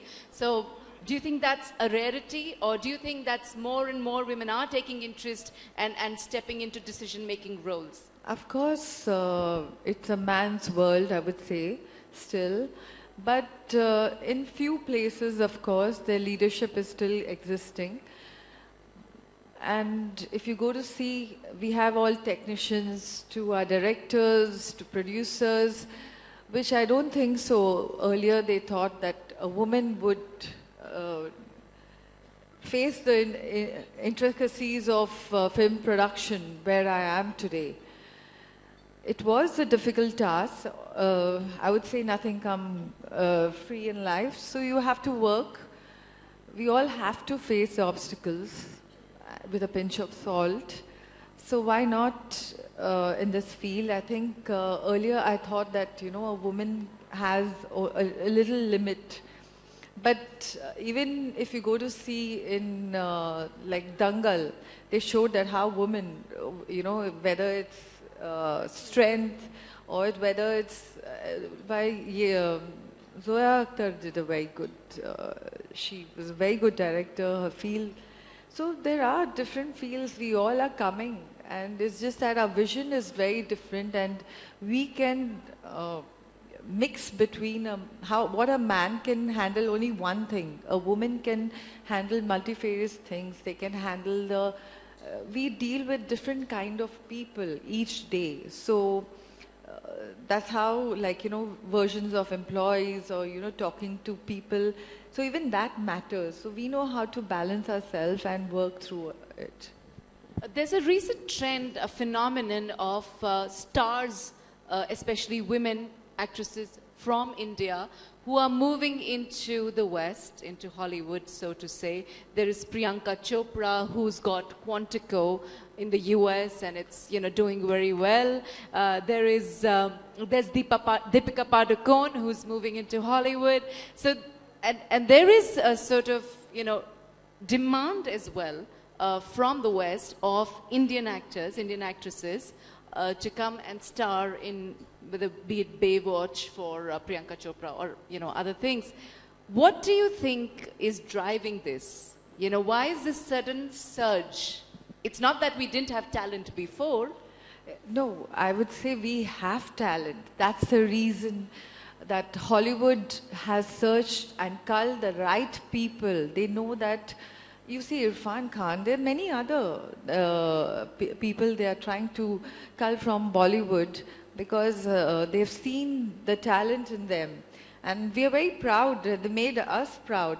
Whether it's Priyanka, whether it's Deepika, they made us all proud that uh, Hollywood people are recognizing our talent much more. And they would love to see an Indian uh, actor to be in one of, in, be a part of their film. So I think it's, um, we are not asking them to come. We seldom see any uh, Hollywood actors in Bollywood cinema because they don't really fit into it unless it's just a cameo or something. And I'm very happy that uh, Hollywood has uh, culled the best uh, actors Priyanka, Deepika, Irfan, many other, uh, Ali Fazal has done. So many more they are, they have been inviting many more actors to come and join them. Uh, do you think Indian directors will end up going that way too? We've got Shekhar Kapur who did that with Elizabeth. Uh, do you think uh, this trend is going to, uh, first the actors of course, it's going to start up and then do you think some of our good directors uh, are going to also be in that sort of a space? There are some directors who have uh, ventured first there and then they have come here. Like my Marathi director, he's a National Award winner. He started his career in LA and now he's doing his, uh, now he's doing Marathi films. So uh, vice versa, direction is creativity. Creativity can go to any extent, whether it's Hollywood or Bollywood. It's just that it has to work, the content has to work, and they should understand the culture, what kind of culture these Hollywood is looking for or Bollywood is looking for. Uh, so it depends, and that's how I think they'll be successful. Uh, India, uh, you know, Indian diaspora is everywhere, and they all wait for the next Indian movie coming out. It's a big connection, an emotional connection with back home right? Uh, so how much of the Indian diaspora, let's say, expectation of the box office collection or content, what kind they would like, or locations, what they would like to see, given their sensibilities that they live abroad. How much of the diaspora thinking, how much do you think of the Indian diaspora in terms of finances, the economics part of it, in terms of content, you know, what they would like, uh, when you get into deciding what should go into the making of a movie? Is it an important element that you consider? Of course, it's the, it's the most important element. First is the content. I feel my hero is always the content, not the actors first. Now, if my content is good, the actors will follow, and especially, and then the director, first the content, second is my director who can understand the vision of the content and believe in the vision of the content. So I would say uh, uh, after that is budget. Even budget is very important. You can't spend more than what is required because if you do that just to show the fla- flamboyant and the you know scenic kind of picturesque, when it's needed, we need to show or not just forcefully uh, add the budget to it because at the end we are looking at the box office collection all the hard work shows but it has to be appreciated with the box office connected. So think wisely. The content tells you everything whether you would like to see uh, the film. Even the trailer can tell you because then that's how we you know everybody looks into it. If whether it's hollywood. Hollywood you would just see the we don't know the actors in hollywood. Uh, we know only the actors in bollywood and they're more recognized. So when you see a, hollywood film you you see the trailer and you decide you want to go. So we are heading there. And to say that the content works perfectly if you know we would like to watch it or we do- do not like to watch it. Uh, Krishika, what would be your message to women, um, women entrepreneurs, women leaders, women in business, and a lot of women in the media, um, in the film world, elsewhere as well, who would look up to you and uh, want to do something? What, what would you, your message to them be? For me, it started with a thought which has culminated into a beautiful dream for me. This that uh, earlier I was a very shy and a very introvert, struggling woman. I would see in my yesterday's years, and today I see myself that I have overcome my my fear. I've been very persistent. I've been very patient, which is um, very, very important in this field because you lose your patience so many times, and that's that's where you stop going ahead. Don't you think I wouldn't have heard a no from an actor or a director since even though I'm coming from a film background, it was maybe my company, but I had to earn my way, my path. I've heard a no from an actor. I've heard a no from a director, but doesn't mean that I, I stopped dreaming. I went ahead. I still went ahead, and I'm here. I'm very successful right now. I'm being very proud to say that because people recognize me, and I enjoy that because it has been a struggle. Everybody has to go through that and enjoy the struggle. That I feel I'm still struggling. The day my struggle ends, I feel I have not achieved. My achievements will be stopped. So I think let the struggle go on, and I will. I need to do a lot more than I am today. Thank you so much. Uh, how do you, as a production house, because not every film is a box office hit, it's a very uncertain terrain. You just, there's no formula. You don't know what works. A star may work, a star may not work. A good story may work, it may not work. You just never know what clicks. A high budget may work, or a low budget may work. You, you just don't know. How do you process the losses that you as a production company uh, go through? The misses, the hits, of course, maybe they make up for the losses, I don't know. So, how do you process the losses or films that don't do well at the box office financially? It's a process. It's uh, as you said. It's it's like a circle. Some movies work, some movies don't work. Exactly, we don't know the formula at all. If one would know the formula, I think we would just have hits and hits. So uh, we don't know. You know, it's. I feel it's just a mood. People would love to see. Sometimes they are in a mood to see something very drama and love story and sometimes you, they would like to see any kind of cinema. So I feel mood swings, nobody can come to know of a person, nor of the vision of the people they would like to see, the audience would want to see at that time. So sometimes if, if a love story is working, I think 10 love stories come off. So it's like a cycle. So it's just like we need to believe in the content, what we are doing. Just go with it. And I feel if you know, if you can connect with with the with the audience a little bit, I feel somewhere you're going on the right path. Whatever films I've done in my past, I've always tried to connect with the people. Maybe it's NH10, like, you know, for me that thought started like we read in the newspapers so many uh, tragedy which goes on. And when we read uh, for a minute, we feel so sad, sorry about it. And then we uh, turn our page and then we see some nice entertainment, we laugh it out. We've forgotten what we just saw a minute back. It's just, it's just gone. So, uh, thought of making NH10, which is actually happening in parts of Delhi. I think we all know about it. So, seeing the vision, and uh, when, uh, when I uh, came out of the cinema, a lot of people I met, they had so many stories to tell me, saying that, okay, this did happen the other day with us, and it happened with uh, the following person or the other. So it connected to people so well, and they had that vision with them. It stayed a longer time than reading in the newspaper. So it's the way you connect to people. If you if you ha- if you connect to the audience a little bit, I think we, uh, that's the way the, we need to hit and direct our visions. Uh, do you spend yourself uh, some time uh, on social media? We all like to do.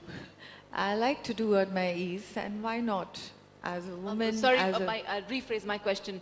Um, as you know, being in the production, you just mentioned about keeping a pulse on the audience because it's very interesting what you said about that it all depends on sometimes the mood of people, which is very new. I haven't heard this before. And it's a very interesting insight that it's actually, you know, f- a film may or may not work because, you know, of the mood of the people. They yeah, would, of you course. know- I, for a small that example, I might would- give you an yes, example. Yes, yes. Uh, today, you're sitting at home and you're feeling like, okay, lethargic and you don't feel like going out and don't want to party. So you go through the uh, cinema, you see the trailers of the cinema, of the film. And here you have a comedy, here you have a, a, a, a nice horror film, here you have, like you have variety for you. So what would you pick? Depends on your mood. Exactly. So that's what I was trying to say. It depends on the mood, what people want to see at that time. Sometimes you really want to see something, but I feel mostly the entertainment kind of film does work. Very serious kind of cinema is very less, according to me, because we all have problems at home. We would love to go and laugh and come sometimes, and I feel always, not sometimes. So it depends on the mood. Am I right? Absolutely. So what I meant was that, like you said, if we could find a way to stay connected, you know, to the people, what they are looking for, what is the sentiment, and today social media and Eros has ventured a lot into Eros now as well.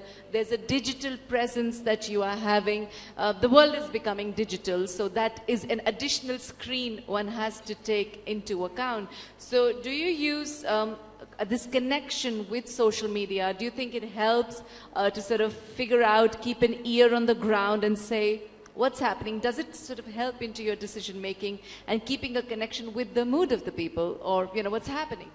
As you said, this is a very difficult formula. You cannot, you cannot take, uh, you cannot, you cannot know the or the pulse of the audience yet. We don't know the formula. It's just that we need to go with our guts and the content. Okay, we let's let's change the mood of the people. Let's give them this entertainment. Let's give them different kind of vision. Let gives them something which they have not seen or something what they know and it's, uh, they have gone through in their earlier yesteryears or they would love to see the love story okay have we met that some connection so it, just enjoy doing that you know very grounded kind. And somewhere in our dreams we have that okay you know everybody especially in love story we all want our lover boy to be very like always want to love you the way you had the vision. Maybe you don't get the same. So you, at least you like to see in your dreams and dreams are entertainment for you. Um, as it's a family business, you know, there are other members of the family who would be taking care of certain aspects of the business. And are there certain aspects that women would contribute more to? I don't know, maybe the creative aspects or content, or uh, is it it is stereotyped around gender? You know, uh, certain aspects that you would take care because you're a woman, and certain aspects that men would take care in the family because they're men, or you cross lines and you know you take care of each other's areas as well. How does it work? Uh, it's nothing like that. It's the way if I uh, always wanted my husband to take care, take care of the financial part. Keep budget. Just give me. I take the story to him. I give. I said this is what the budget is. So he gives me a round figure. Okay, this is the budget. You want to work on this? You can do it. Not exceeding. So I would give him the part to do that. And uh, there's no such thing, there's gender difference and uh, discrimination because uh, my CEO is a, is a woman. My, uh, my P- PR marketing head is a woman. My, uh, uh, this one, the PR head, the marketing head, and we have so many of the young talent with us. So I enjoy walk, working with them. It's, um, we have, we, you know, we exchange a lot together.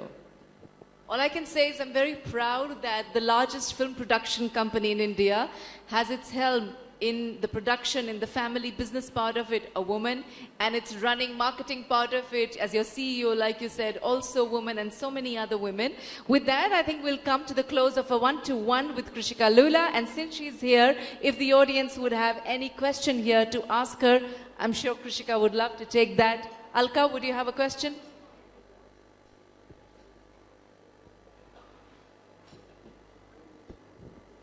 I'm going to stand up for. Thank you so much for being here. I'm Thank staying you. in Washington, D.C., and when Harbeen said, you actually took my question and comment right out of my mouth. We're so honored to have our girls like Priyanka and Deepika come over, and they are doing such a fantastic job. Do you feel, and, and please be honest, right? Do you feel that the women, the female actresses that we have in the States, can you see them translating just as seamlessly into Indian films? It all depends on the content because they need to speak our language very influent, like fluently. So if they can manage, maybe the Indian audience will accept them.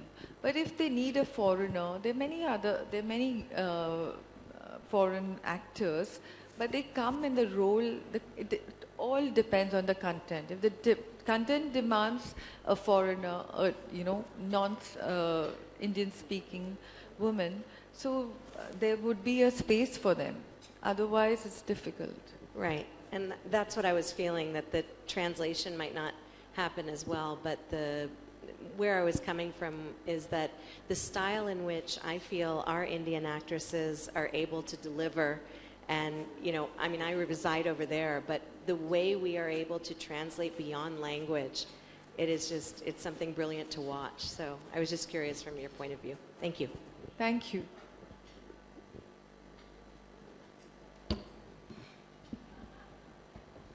Is there any other question? Okay, with that, we come to the close of a wonderful session with Krishika Lulla uh, from Eros International, and we are most delighted uh, to have her here speak on the media from her heart. It's very refreshing, Krishika. Thank you so much for being here, and we would love to honor you from Thank the Women Economic Forum. Would you like to say a few closing words? Now, as I say, thank you, all of you, to be here and to listen to me. Thank you so much. I now request Mansi. It's our absolute delight to present the All Ladies League and Women Economic Forum 2017 Award of Women of the Decade in Family Business and Entrepreneurship. Do Krishika.